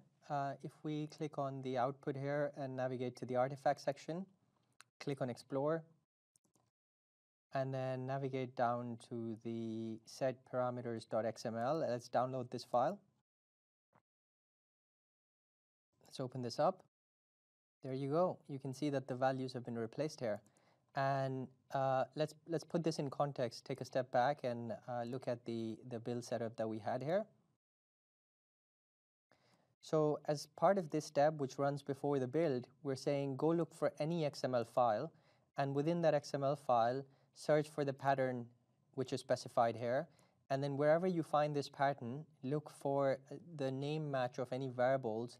And if we look in the variable section, I've defined two variables, environment and log, and they both have a value here. And if we go back into the code and check our web config, we have environment and, and log, and in the parameter file, it's exactly looking for environment and it's exactly looking for log specified within the, the regex pattern that we've specified. And that's how it applies the transformation. Now, when you, um, now that it's, it's made the update to the, the, this specific XML file, the set parameter.xml, it's the set parameter.xml file that gets run as part of the, uh, the web deploy using MSBuild and it will, during the deployment process, look at uh, the values within the set parameters, and it will search for those values within the web package and do the do do the um, the transformation for you. This is one of the ways of doing it. I'm not saying this is the ultimate way of doing it. You could introduce the regex format directly in your config file and have it replaced there. You could run it a step before the web, web package gets created. You could run it a step after the web package gets created. But you know, all in all, this is one of the ways of doing it. And uh, regardless of the way you do it, it's important that you, you transform your config files as part of your build uh, or release step, just to ensure the sanity and the speed uh, within your continuous uh, delivery process. So wouldn't it be better if there was a way of releasing functionality into production, but then ahead of releasing into production, releasing it into a test environment, and mimicking load that is production-like. Now, in the past, mimicking load that's been production-like has always been a challenge. And it's been a challenge because infrastructure had been expensive. You go and invest in buying a server that's production-like only to realize that when you aren't releasing stuff as often, what do you do with that high, high-end uh, server, which is costing you a lot? And then chances are if it's a high-end server that's physical, then it's going to start degrading over the number of years. Now you need to find a replacement for it. Well, luckily with the cloud era, you don't need to worry about that. And with the era of Visual Studio Team Services, performance testing and availability testing is offered as a service, so you don't even need to set up your own kit. Um, if you have an application that doesn't require installing components and can communicate over HTTP or HTTPS, then this is a perfect match, a match made in heaven. In this video, we'll look at how we can supplement our build and release pipeline by adding out-of-box tasks to test for performance and availability. I'll also quickly show you that there are other libraries available with support running open source and third-party uh, performance tests like Apache, JMeter. Um, this uh, video entirely focuses on you know, test automation, but more specifically on performance testing, which I think is, is one of the fundamental uh, things that you need in any meaningful pipeline. All right, so without uh, further ado, let's uh, jump right into the demo. Okay, so summit.master, that's the, that's the pipeline we've been working on. And you see this pipeline's grown from just semantic versioning to one that's replacing tokens, creating packages, uh, publishing artifacts, consuming those artifacts to provision infrastructure, get some information sent back from that infrastructure provision, deploy the web app, deploy the DB, deploy, run the functional tests. Now what we want to do after this is we actually want to run performance tests. So what I should do is look for a task that does that. I could navigate into the test section and you would see that there are a bunch of options available. There is cloud-based load test. Now if you are coming from an existing investment that you've made within performance testing using Visual Studio um, then you would have um, a lot of Visual Studio specific load tests. This task allows you to use those tests and run them in your existing pipeline. If you're starting afresh and you don't have any, any tests available, you could actually launch Fiddler, start using your application, extract the Fiddler trace, and publish that as a, a test. There's a converter that allows you to convert your Fiddler traces into Visual Studio Performance tests. You could also just submit the same uh, Fiddler traces as a perf test within Azure. So if you haven't started, getting started is fairly easy. But in this case, what we want to do is we want to add the cloud-based web performance test task. And if we click here, uh, it asks for a number of things. The first thing it needs is a connection back to Visual Studio Team Services. It's kind of funny you would say, hey, I'm running this task from an existing Visual Studio Team Services why do I need to tell it which Visual Studio Team Services instance to, to use? Now, certain organizations might have multiple VSTS accounts, and they may be stacking up a lot of credit for Visual Studio uh, load test virtual minutes in one of the accounts.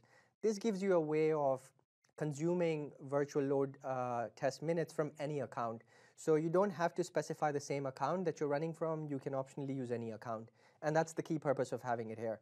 Now I've set up an endpoint here you could do that by, by going over in the settings and creating an endpoint and putting your personal access token there. Uh, next thing you need to specify the web URL of the server that you need to test. Like in this case, we have this specific page, but what if we are adding a new page called contact and we simply wanted to check as part of the deployment whether the contact page was deployed and it, it can bear the new load uh, that we anticipate. So we could fully qualify this, take this URL, put it here, and then it says give it a name. So let's call it perf, let's call it availability test for contact. Now it's giving you an option of how much user load do you want to mimic. You can go from 25 to 250, but there's nothing stopping you from putting more load on this. Um, so we'll start with the basic 25, and then it gives you an option of how long do you want to run that load up for.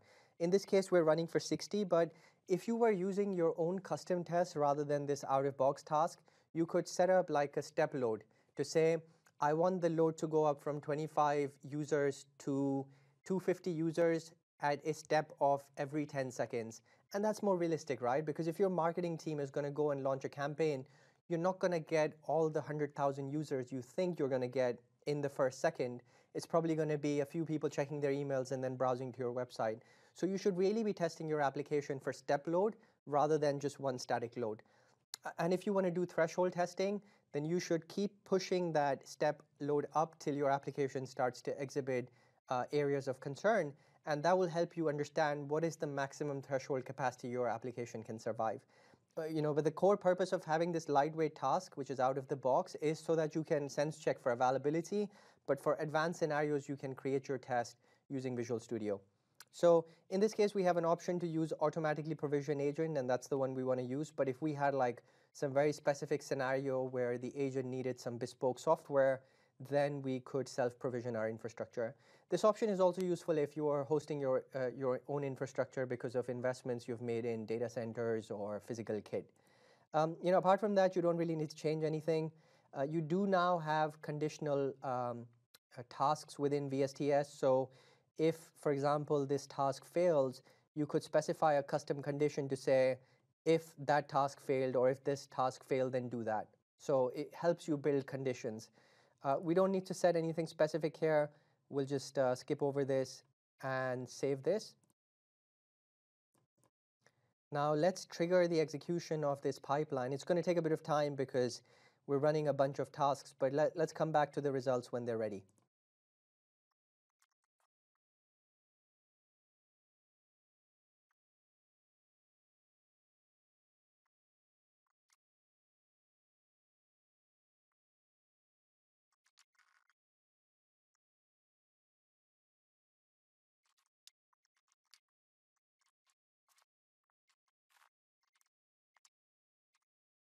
The bill's gone green here, as you can see. Let's scroll up to see what the end result was.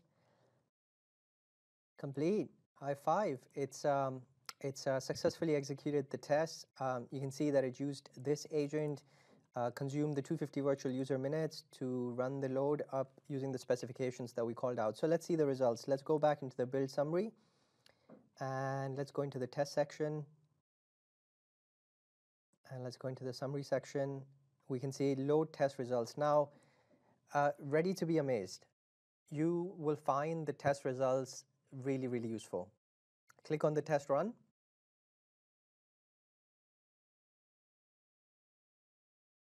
I mean, look at this.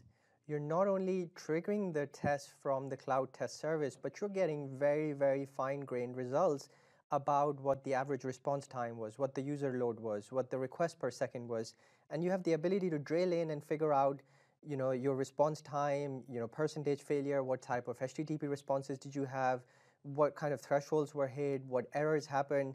I mean all of that available right from within the the uh, the, the, the web is just amazing. I mean i come from the background where you had to run your test for load from visual studio. And so you had to had like like the high end version of visual studio which was called visual studio ultimate back in the day and then the only way to see the test results was after the test execution completed. With the cloud version, you can actually see the tests as the execution is in flight, which means if the tests are going off track and you're running for Thresh and you start to see like a unique pattern, which could mean the either the app is not deployed correctly or there are other issues, you have a chance of stopping the test.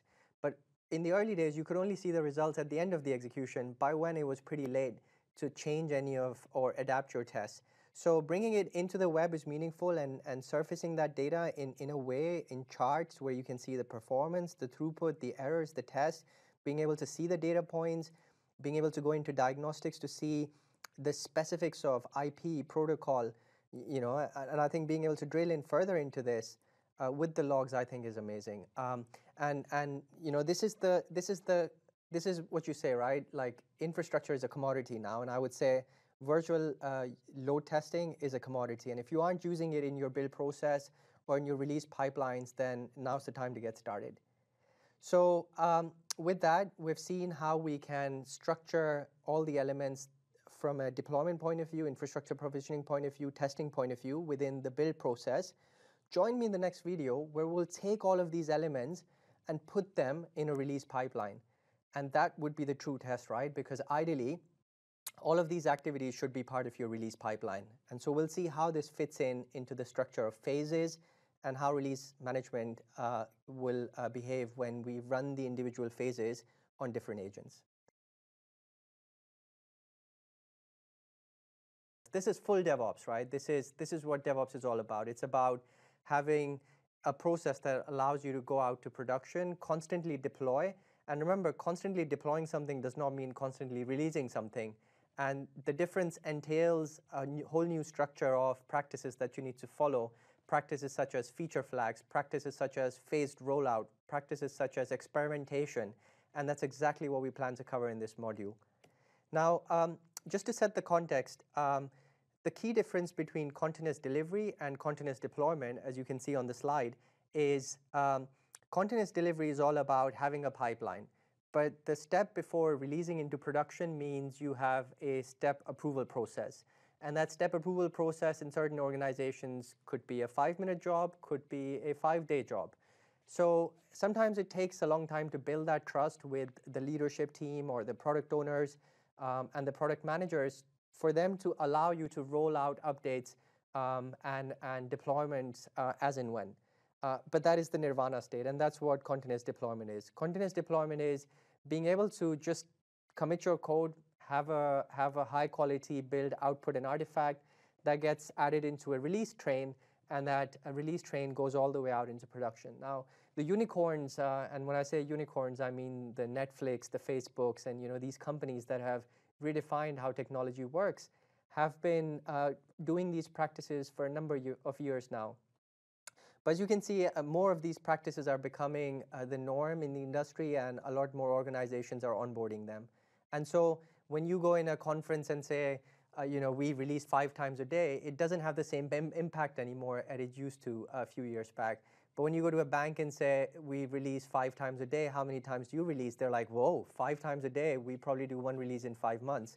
So for them to, to make a journey all the way to continuous uh, deployment is, is quite a big challenge. And they have to go through the phases that we've talked about, get the CI right, you know, make sure the CI is reliable, it's, uh, it's one that you believe in and one that you want to improve on, then get to the continuous delivery stage, make sure you have the right quality factors built in, make sure you, can validate um, that you have a good tangible product before you roll it out with the right approvals. And when you're at that stage, you go full Monty with continuous deployment, right? That's what DevOps is all about. So i have changed this picture again for module three as we've covered CI, build automation, deploy, and test automation. We're going to focus on some of the practices of continuous deployment. And one that I'm personally very excited about is um, feature flags. Um, and one that the product really allows you to do very easily now is staged deployments. Staged deployments you could do right from release management where you could decide to roll out updates to selective uh, Canary instances. Uh, but Azure supports it quite broadly within uh, web apps, uh, wherein you can select and set up slots and then leverage those slots to phase in, phase out releases. Um, and then uh, at the tail end of the course, we'll look at uh, App Insights and how you can put App Insights to work um, to get real-time telemetry back from production. We'll also look at a nifty feature available within App Insights that gives you the integration from Visual Studio Team Services uh, and Azure to put a marker on App Insights, uh, and it's called release annotation. Uh, when you look at the data that comes back from production and things don't work out, the first thing uh, you ask is, did a release just go out? And that's what release annotations are. They just put a marker on your telemetry to say, this is a point where the release went out. And if after that point you see traffic going down or traffic significantly going up or certain exceptions or certain things happening, then you know that there's something fishy about this, uh, this uh, specific release. And that's an action point you can take away and investigate. So um, you know, practices for continuous deployment, like we talked about in continuous delivery, you know, there are some in industry standards and practices, and, and the same applies to continuous deployment. Now, I've listed some here this just assumes that all the practices that we talked about when we talked about continuous delivery still apply. This is just stuff on top of that. And continuous deployment is about having an architecture that is microservices based. As, as I talked about previously, you cannot have a heterogeneous, uh, you cannot have a monolith application and service it in real time with multiple releases and deployments in a day, simply because every time a monolith goes down, there's a big impact. But when a service goes down, there's less impact. So that kind of architecture is more uh, balanced and made for a continuous de deployment um, mode of work. Work on a minimal viable product approach, you know, MVP. It's good because it allows you to focus your attention on getting the most bare minimal done to get a feature out deployed and then start getting feedback from the field on whether it hits the mark of what was expected from it, whether you can evolve it further, and where there's scope for improvement. What you don't want to do is go build an Eiffel Tower and figure out that your customers didn't really need an Eiffel Tower, they just needed the Seattle needle, and it would be too expensive then to go back and fix it. Um, the other practice is never roll back. You know, this in this mode of work where we're talking about constantly releasing and deploying stuff, we can't have a rollback condition. Rollbacks don't work. In a mode of continuous deployment, you are immutable in your delivery. You have to fix it, and the process needs to be quick enough to allow the fixes to roll out uh, as soon as they're ready.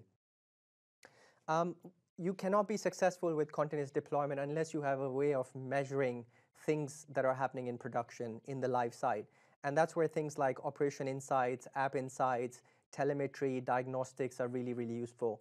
And you know, with more of cloud platforms taking on this, uh, this role, you would see they have native tools available that give you the high level and the drill down view of telemetry, operations insights, application insights, and then they allow eventing for when things happen, for things to happen, which means if infra infrastructure is damaged, self-heal, go restart, go do this, go run this script, which kind of helps you have the first level of checks and balances in place even before the issue gets to you. And you kind of need that if you want to move into a continuous deployment mode. Metrics, you know, have you ever had that conversation with uh, someone who says, oh, we want to track uh, what, what is the velocity of your team? And you're like, how does that help you in any way? What you should be measuring is a product level KPI. How many uh, customers are moving on to the new version of the platform that we've rolled out? You know, how many customers are buying the new features that we're developing? How many customers are becoming free to uh, pro? You know, these are the kind of metrics you're interested in. And when you start measuring those business metrics in IT, then it becomes a view of let's join up to deliver a product rather than let's join up to deliver a part of technology. And organizations that go full continuous deployment move away from just you know these mundane uh, technology-centric KPIs to more business-focused KPIs. But it's a cultural shift, one that takes time to adapt. Um, so let's get to the techniques of, um, of um, um continuous uh, deployment. The first technique I want to call out here is feature flags, one that we will cover in a demo as well. Feature flags are amazing. You know, if you want to be continuously deploying stuff in production, you can't have this condition where uh, oh, I'm going to take a week to, uh, to create this stuff, so I'm not going to do a deployment for a week. Let me just add some plumbing, uh, some server level uh, APIs, and let's just hide that behind a condition and roll that code out into production. And then let me behind the scenes enable that feature just for myself so I can keep invoking that API with production data to see whether it's resilient, whether it's giving me the responses I need, whether it's going to be able to scale. Uh, and likewise, you know, when we develop new features in an application, we will only want to roll it out to a fair few to get feedback. We don't want to have to like set up a test instance and invite them because the, the chances of that happening are quite low. But when you release in production and they say, look, you know, we've just released this new feature, it's private, can you go and test it for me, give me feedback? Chances of that happening are high. But all of that works on the principle of feature flags. And we'll, we'll look at a couple of extensions that enable that. We'll work through that in a demo. The next uh, one here is blue-green deployments. You know, it's a good practice to have production-like environments available uh, where you can um, where you can roll out stuff. So as it says here, blue-green is a technique for deployments where the existing running deployment is left in place a new version of the application is installed and then a flip and a switchover happens. So if you're working in, in uh, microservices or if you're using uh, Azure Service Fabric or any of those service fabric oriented technologies, then you would see it's very, very easy to spin up a new host uh, of um, your service, which has the new version of the software, direct the traffic to it, and then flip it over when you're kind of ready to roll it out. And uh, that, that's a very popular topic uh, and an approach that's available within Azure through Service Fabric, through web app in, in the form of slots. Uh, the other uh, uh, technique that's available is canary, canary releases, and this is one that we'll look at in a demo, which basically means you do a phased deployment where you patch a few servers first, uh, you know, adjust your load balancer such that some traffic gets routed out to it, and then you can gauge whether it's working fine, and if it's all working fine, then you just roll that release out to all the other environments. Um, the, the last one in the list is uh, DevSecOps. Uh, and you know, I'm calling it out for a reason here, is because as we all move to this DevOps way of working, we actually forgot that there's another department in the organization called security. And unless you take them in the fold, you'll still have a siloed organization because trust me, the cost of a data breach today is higher than ever before. There is the financial cost, but then there's the cost of reputation, right? So if if you are an organization that is holding customer data and that customer data gets leaked, then the amount of shame that brings to the brand is is just is just un, un um, fixable in a way. And not having security on board means you're exposing yourself, but having security on board means you kind of have to wait for their manual processes to be complete. And they might not be as swift and, and as quick in their uh, validations as you may be in your dev and, and operations rollout. But having some sort of an automated way where you can take them in the fold in your own pipelines, automate part of what security does means you can actually roll out a release with confidence knowing that it's, it's yes, automated, but it's secure at the same time. This, uh, in this video, we're going to have a, a, quick run through of feature flag functionality. We'll look at an open source framework that's available that we can just grab from NuGet that has all the functionality that you need to get started with feature flags. Um, I've also used uh, of late uh, this uh, product called Launch Darkly. LaunchDarkly is a commercial product for which there is an extension available on Visual Studio Team Services Marketplace. I must say it's a pretty impressive uh, tool set that they offer. You have a central cocktail, uh, cockpit from where you can run your A-B experiments, you know, your uh, canary deployments. You can get uh, like feedback on how the deployment rolled out, you know, what percentage of traffic is going there, what's the pulse like. You could enable, disable features. You could tie in features into packages and kind of control them. So pretty impressive. Um, but the reason I'm not covering that in a demo is because they have about 20, 30 product videos on their website as well um, which go into a lot of detail as to how you can set up and get started with LaunchDarkly. Uh, if you are doing, um, if you're planning to use feature flags extensively, then I would encourage you to go and have a look at that extension. In this specific video, we're going to talk about the open source solution that's out there, maybe not that well, um, you know, talked about. So uh, let's get started with it. Okay, so let's flip right into a demo.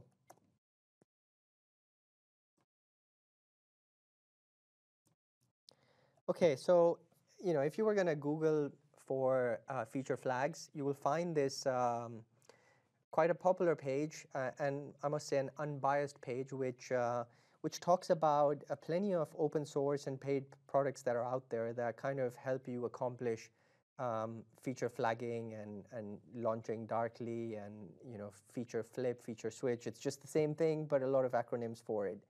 Um, uh, we just briefly mentioned LaunchDarkly. Um, pretty impressive. You should go and check it out. The one that I'm planning to cover for this video is the one from Jason Roberts.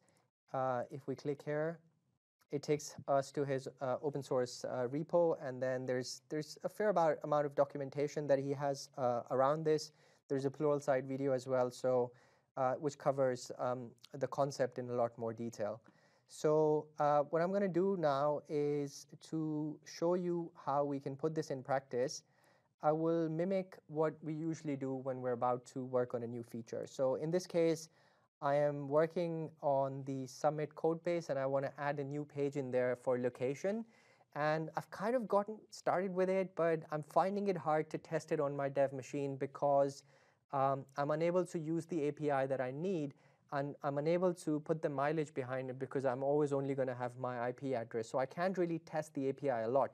So what I want to do is I want to put this out in production, but I want to have most of it disabled so no one can get to this page. So typically I would go in a controller, you know, create a class, maybe create some other methods that I comment out an entry path to so no one can, can get to it. But by commenting stuff out, I'm introducing technical debt here because someone else who looks at this code base, this is going to make no sense to them. You know, why do we have commented out code? In SonarQube and NDepend, this is going to show up uh, as an incorrect metric as well. If we go in the view section, what I've done here is I've created a, uh, a page for location so that there's an entry point to it, but I've commented it out so no one can get to it. And then I've created a view, location CS, but then I'm not publishing any of the properties on that page because I've, I've commented out the business logic. I don't have any properties to render. So I'm just going to simply show a message here saying coming soon. So let's run this app up and see what the behavior looks like at the moment. This is what your user would see, right? They wouldn't have an access to the location, but somehow if they have the URL and they went there, they'll see coming soon. Not very nice, and especially not very nice if you are a public-facing company. So let's close this and see how we can use feature flags to use to actually have the feature live, but hidden behind the feature flag, so no code commenting. The benefit also here is that there's type safety. So if someone was going to go and uh, do something in terms of uh, remove the feature flag, then you're going to start having compile time exceptions and runtime. So not only runtime exceptions, but compile time exceptions. The benefit is, you know, when you put if-else conditions in your code to say, if my config file value says, uh, don't enter this code, or if I set something as false, don't try and traverse through this code base, if someone goes and removes the app key from the config file, you're not going to have compile time issues, which means your tests aren't going to fail. You're simply going to ship it. And when it runs in production, it's not going to find that config value and it will start failing. So with this framework that I'm about to show you, when you remove stuff accidentally or on purpose, it starts to fail the build in compile mode and points you where it's failing so you can go and fix it there rather than having problems during the run and execution in production. So um, let's right click on the web project, go into NuGet, and let's look in for feature flags. Now you can see feature flags is quite a popular search word, but the, the one that we need is feature toggles. So feature toggle. Now feature toggle core is the one that we're after.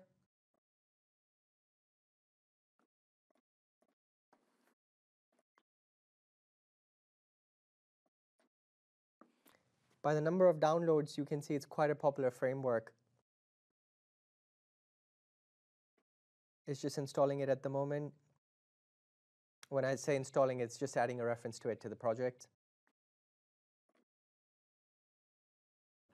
Okay, so let me remove some of the package feeds that I'm not using. Okay, so feature toggle, let's, uh, let's go back uh, to it and search for it again. So there's feature flag uh, core. There is, uh, let's install this as well. Okay, let's try this one. Let me cancel that and uh, remove the pre-release flag from there and just install the ones that I actually need. Okay, so that's installed. Core and toggle both are installed. That's the one we need. So uh, with that set up, let's close this window and uh, go back into our code. Now to start using it, the first thing I need to do is I need to go and create a new folder. And let's call this folder toggle.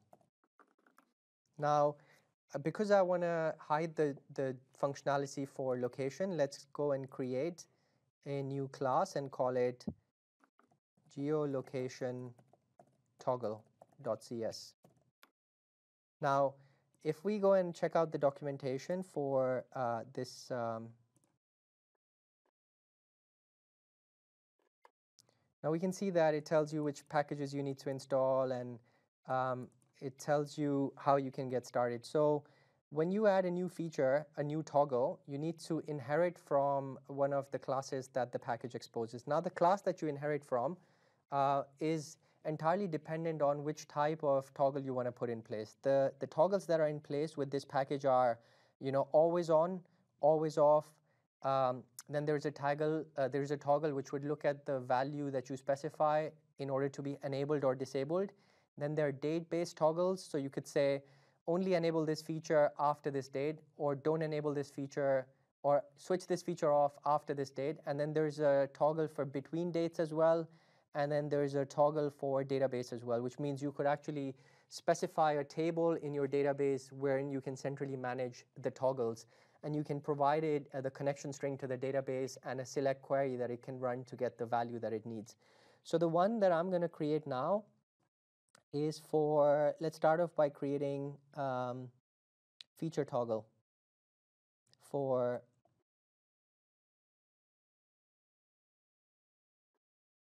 let's use the simple feature toggle here. So let's do this. I'm going to have to add a reference to this. So with that reference added, now I can go back into my home controller and instead of commenting out code, I could do the following. I could say toggle is equal to new geolocation toggle. Might just need to add a reference to it. And then all I will say here is toggle dot feature enabled. So what I can then then do here is I can say if if this value is true, then go within this. If not, then just don't go within this. So it's probably worth moving some of uh, this logic in here as well.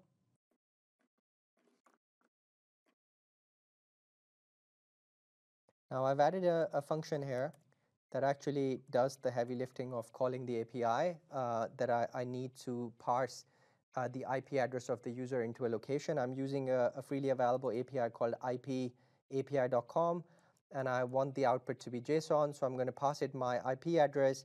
It will invoke the API and then give me a result set. So what I've done is I've, I've hidden the call to this API behind the feature flag, which means if the feature flag is set to off, then no one can get to it. But optionally, I can set it to on uh, from my specific user profile and invoke this even after launching this in production. No one else would be able to get to it. So this is me putting a feature flag on a feature that's uh, on the server side. Now, if I wanted to do this on the client side, I could follow the same steps. I could go into my location see a HTML file and I could add some logic here to say toggle is equal to new uh, geo location toggle and again I might, I might need to add a reference to it so the reference would be let's copy this. There we go. And then I could do the same thing here. If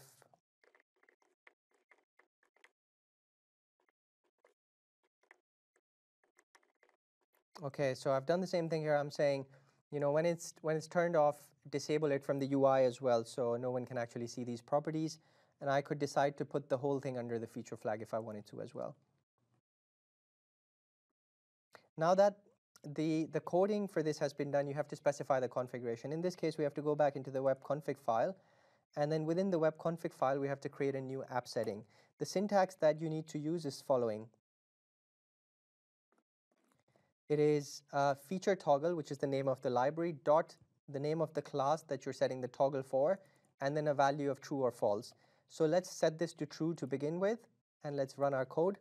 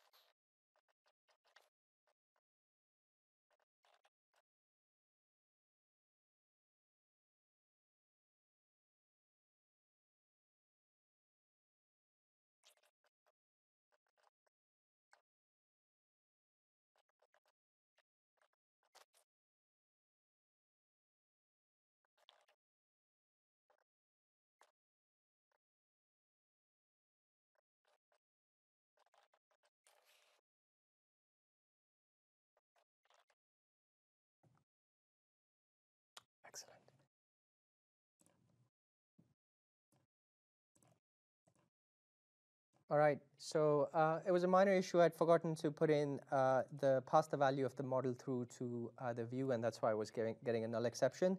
So in order to show this in action, I'll go into the layout CS and uncomment the location. Now, if I run this up,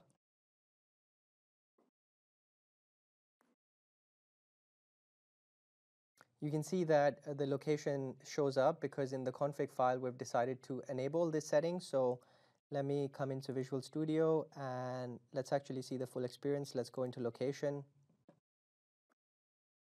You can see that the API is being invoked.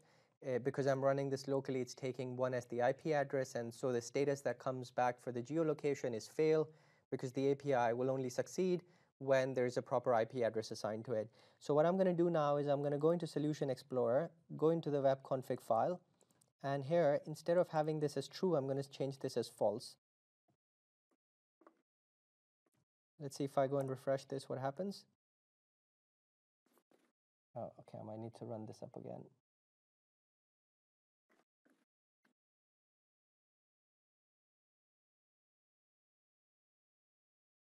Now, as you can see, um, I'm back on the screen, and if, uh, if I look at the menu,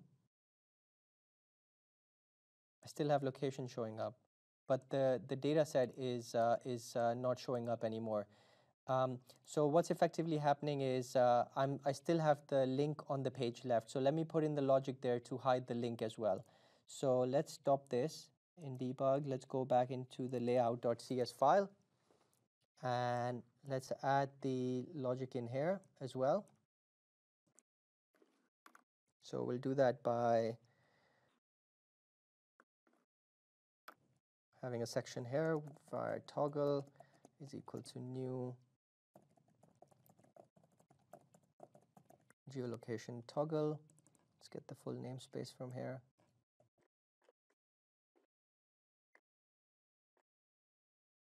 Okay, that's interesting. Let's go back into the location. Just take this. All right. And with that, let's just put the condition here to say if toggle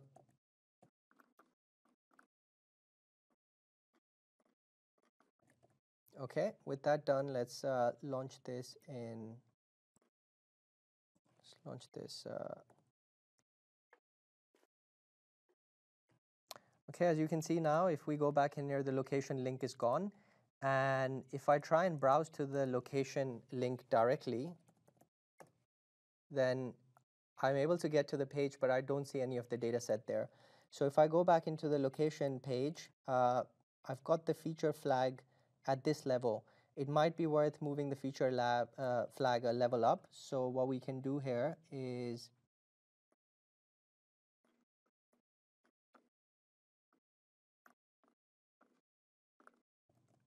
let's refresh this page now. And you can see that even that text is gone. So brilliant, right? I mean, you're able to manage from within configuration what parts of your application are being exposed to the users, what parts of the application are hidden because uh, you've protected them behind a, a, feature flag. Now, this was a very basic example, but uh, you know where I've seen this applied a lot is when marketing wants to launch a campaign and uh, you know they want to have the campaign, uh, the functionality for the campaign rolled out a week or two ahead of the campaign so that it can be invoked and tested and then at the time of the rollout, you don't need to actually organize a release. You know, back in the days when Black Friday sale was uh, was about to happen, IT systems would go down because someone tried to do a release and the release failed. And on the day when they're expecting to do a lot of sale, they don't have the system online. But with feature flags, especially the ones where you could uh, put the feature behind a date a specific flag, you could actually roll out the feature, if not months, weeks in advance. And then on the day at the specified time, the, the URL becomes active and the users can access it. And for the rest of the time, it's inactive, it's unavailable, and there's no way to get to it except for when you want to get to it yourself. So in a nice and easy way to continuously deploy stuff hidden behind a feature flag. The thing to be careful with feature flags is because you're adding a lot of you know conditional logic within your code to show and hide stuff, uh, if you don't have some kind of a practice in place to, to remove these uh, toggles um, when you have actually released this functionality, then you're going to start to accumulate technical debt. So it's best practice to kind of have a process in place where you can hide stuff behind feature toggles, but when that functionality is released, that you go in into the code and clean uh, the toggles that don't need to be there. But pretty exciting feature nevertheless. So I would I would encourage you to go check out feature flags and um, you know leave a comment for Jason on his GitHub page if you like his uh, open source uh, uh extension.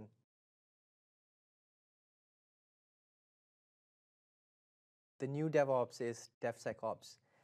As we talked about this previously, you can't really leave security out of your DevOps um, workflow because at the end of the day, the cost of having a data breach is significantly high, but at the same time, the overhead that security adds in your delivery process can be tremendous. So, uh, you know, why not work with them to automate the checks and balances that they perform as a, as a security operation and bring that left into the, the life cycle of development, testing, like you've done with your build and release pipelines.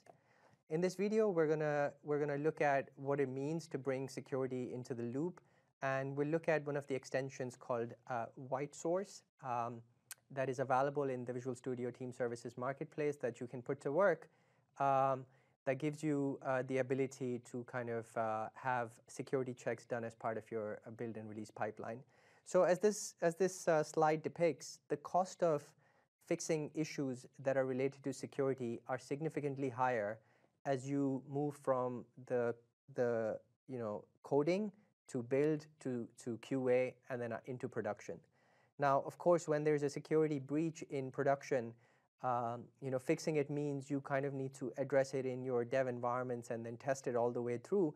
And you might not have all the relevant infrastructure to create those scenarios that you may have in production. So it just becomes harder and more difficult to address these scenarios. Uh, and what are those some of, uh, you know, what are the some of the common scenarios that you would want to check from a security point of view? The first thing you would want to check is you're taking dependency on open source, right? So uh, a lot of the times when we need um, some sort of uh, a package that does something, we go and look it up on NuGet or we go and look it up on Google and then we simply download it and attach it to our project without thinking whether there might be some malware scripts in that package. You know, we don't do a, a good enough job to go and investigate whether the package is clean or it's got some code that might be sniffing some of the content from our code base and pushing it out into the developers' um, you know, data collection as they might have set it up. So, for example, if you are uh, uh, you know, writing some code for a bank and you take a dependency on a package which behind the scene is publishing credit card information out, then you're in a bit of a trouble. So wouldn't it be great if there was a way to um, check whether a package has been scanned and, and has a quality standard associated to it? Luckily, there are providers out there that have a a, a database of uh, you know um, quality against packages, uh, licenses against packages, and you know you're basically paying to access that database. Now, when you run this as part of your pipeline, it will make a call out to that database provided by that company to validate whether the package that you're taking dependency on uh, is, is categorized under any of the threats. And if not, uh, you know, then you're good to use it. The other value adds that come from this is if you're using a package that is out of date, but you haven't realized that newer versions of that package have been released, then you might be onboarding some legacy uh, debt here.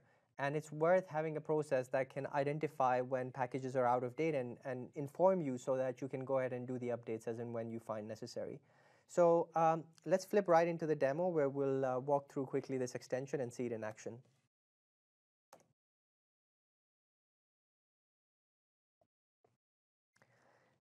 So as you can see, I'm in Visual Studio Team Services and I'm in a, a build here that uh, build pipeline. And within this pipeline, I've added two extensions called WhiteSource Bolt and WhiteSource.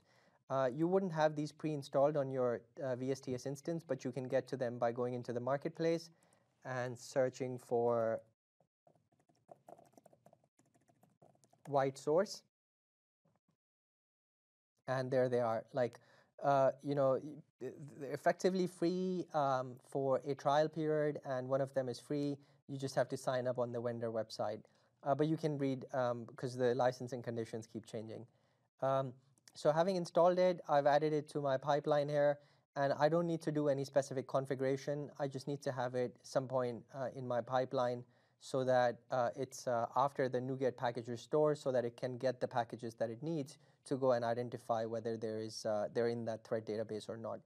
And in the full product called WhiteSource, there is an alerting mechanism as well. You just need to go and register on the vendor website where it creates a dashboard for you and then sends you alerts rather than you having to go to check, check the dashboard. It tells you that a certain package might be going out of date, notifying you that when you have time, go and update it.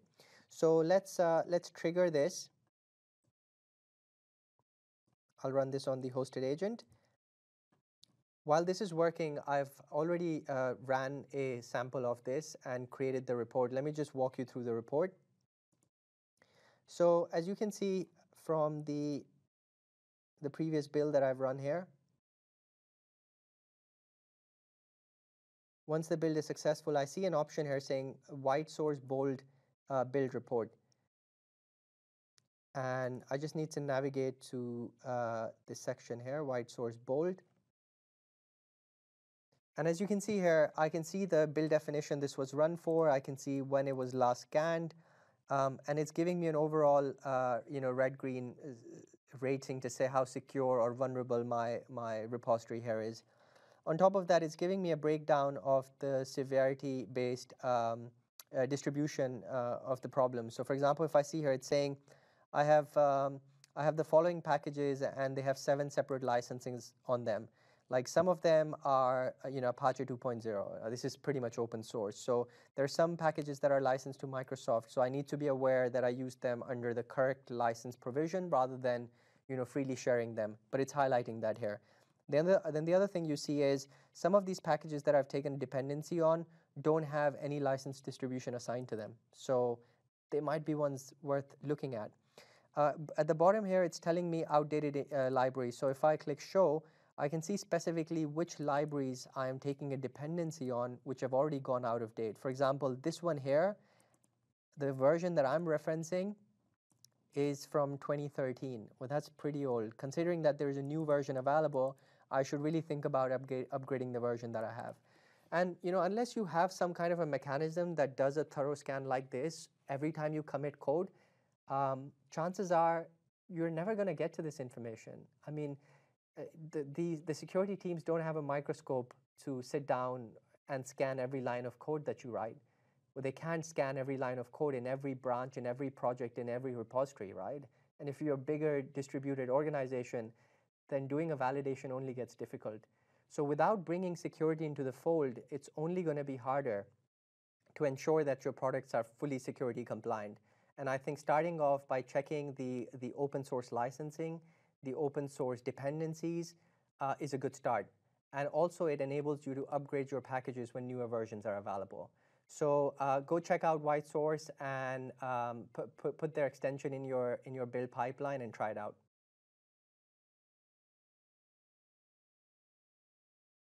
Kind of feels that we've covered the ability to um, deploy continuously. Now we need to be in a position where we can gauge what's happening in production, right? We've deployed some code. We want to know what the trends are. We want to know what the diagnostics looks like. What we want to know how the users are interacting with our app. But there's no end to how much data we can harness back from production. We just need the right framework which will allow us to slice and dice the data, which will give us the ability to put that data to work, integrate with other frameworks, and App Insights kind of ticks all the boxes there. Um, so in this video, what we'll do is we'll have a quick walkthrough of how you can, uh, you can use App Insights within your continuous integration, continuous delivery, and continuous deployment processes to harness some intelligence back from uh, pretty much any environment, uh, production, non-production, test, and then put that insight to work for you, for your product, for your product teams.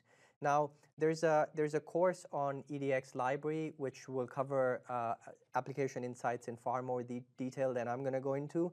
So I'd encourage you to go and check it out. Uh, so let's right get into a demo here.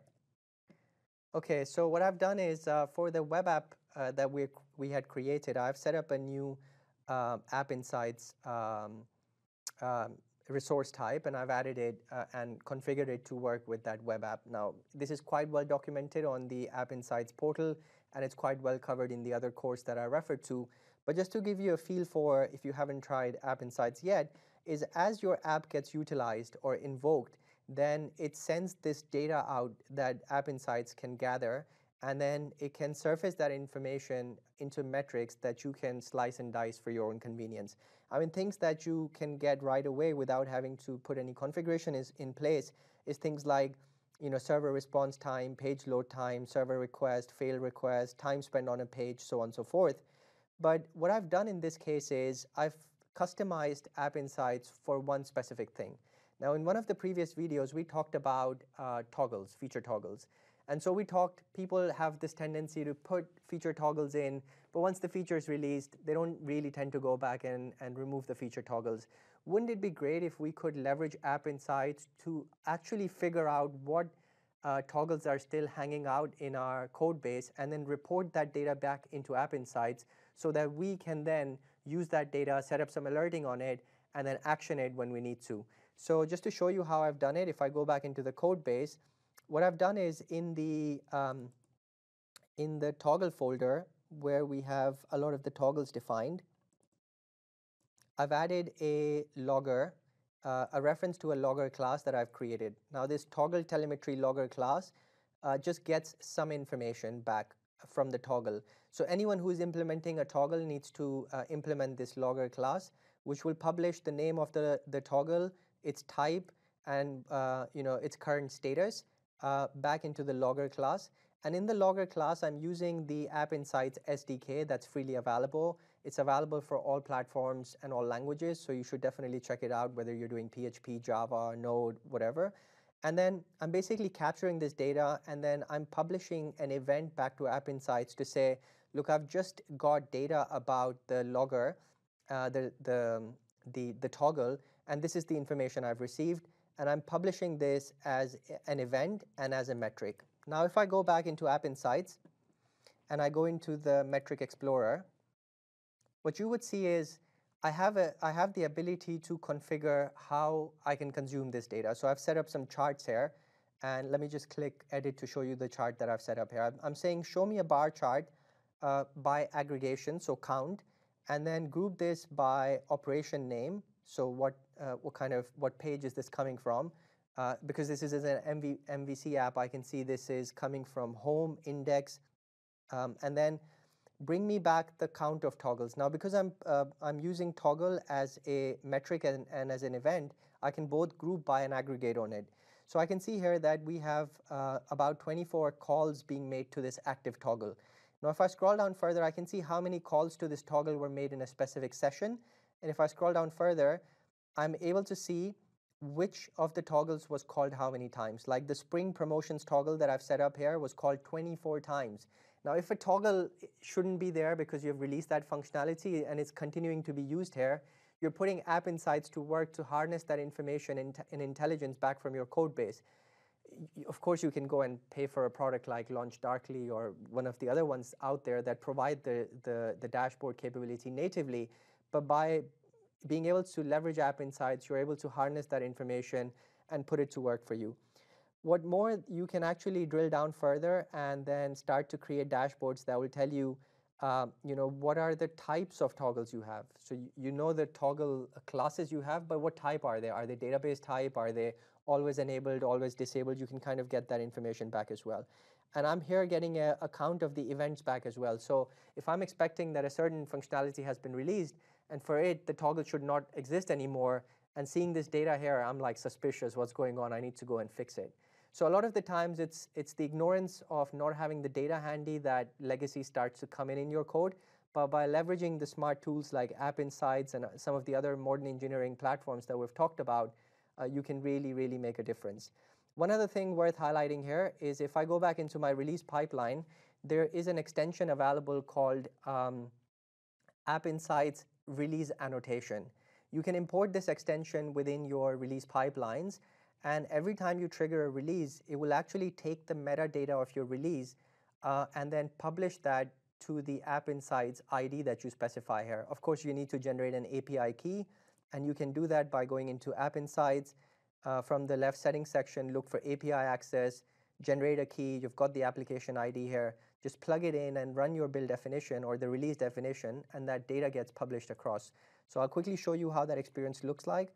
So if I go back into the, the App Insights here, and I launch uh, this chart here, and let me customize the time range to last 30 days, update. Now you can see, you see this little marker here calling out that uh, a release was done and it tells me the number of the release and when it was done. Now I can actually see that the, there was a spike in traffic after this, but even though there was a spike in traffic, the server response time has gone significantly higher, which could allude to a change that might have accidentally been shipped out in production or a new deployment that we would have done, which might have introduced some new functionality, which is causing this spike. But having this marker here is, is a good indication that something changed. And, it, and then if you click on it, you get further details on what version of the app was shipped, you know, and a, a, link back to the actual build and release definition. So it makes the investigation process a lot easier in that case. So uh, with that, uh, you know, we are kind of uh, at a place where we can summarize the journey that we've made. Um, you know, we went uh, all the way from creating a, a simple CI build, automating that build, maturing that with uh, release management by automating the infrastructure, the deployment, the functional testing, the performance testing, the configuration tokenization. We took it a step further by uh, you know, deploying in a phased manner with uh, group deployments.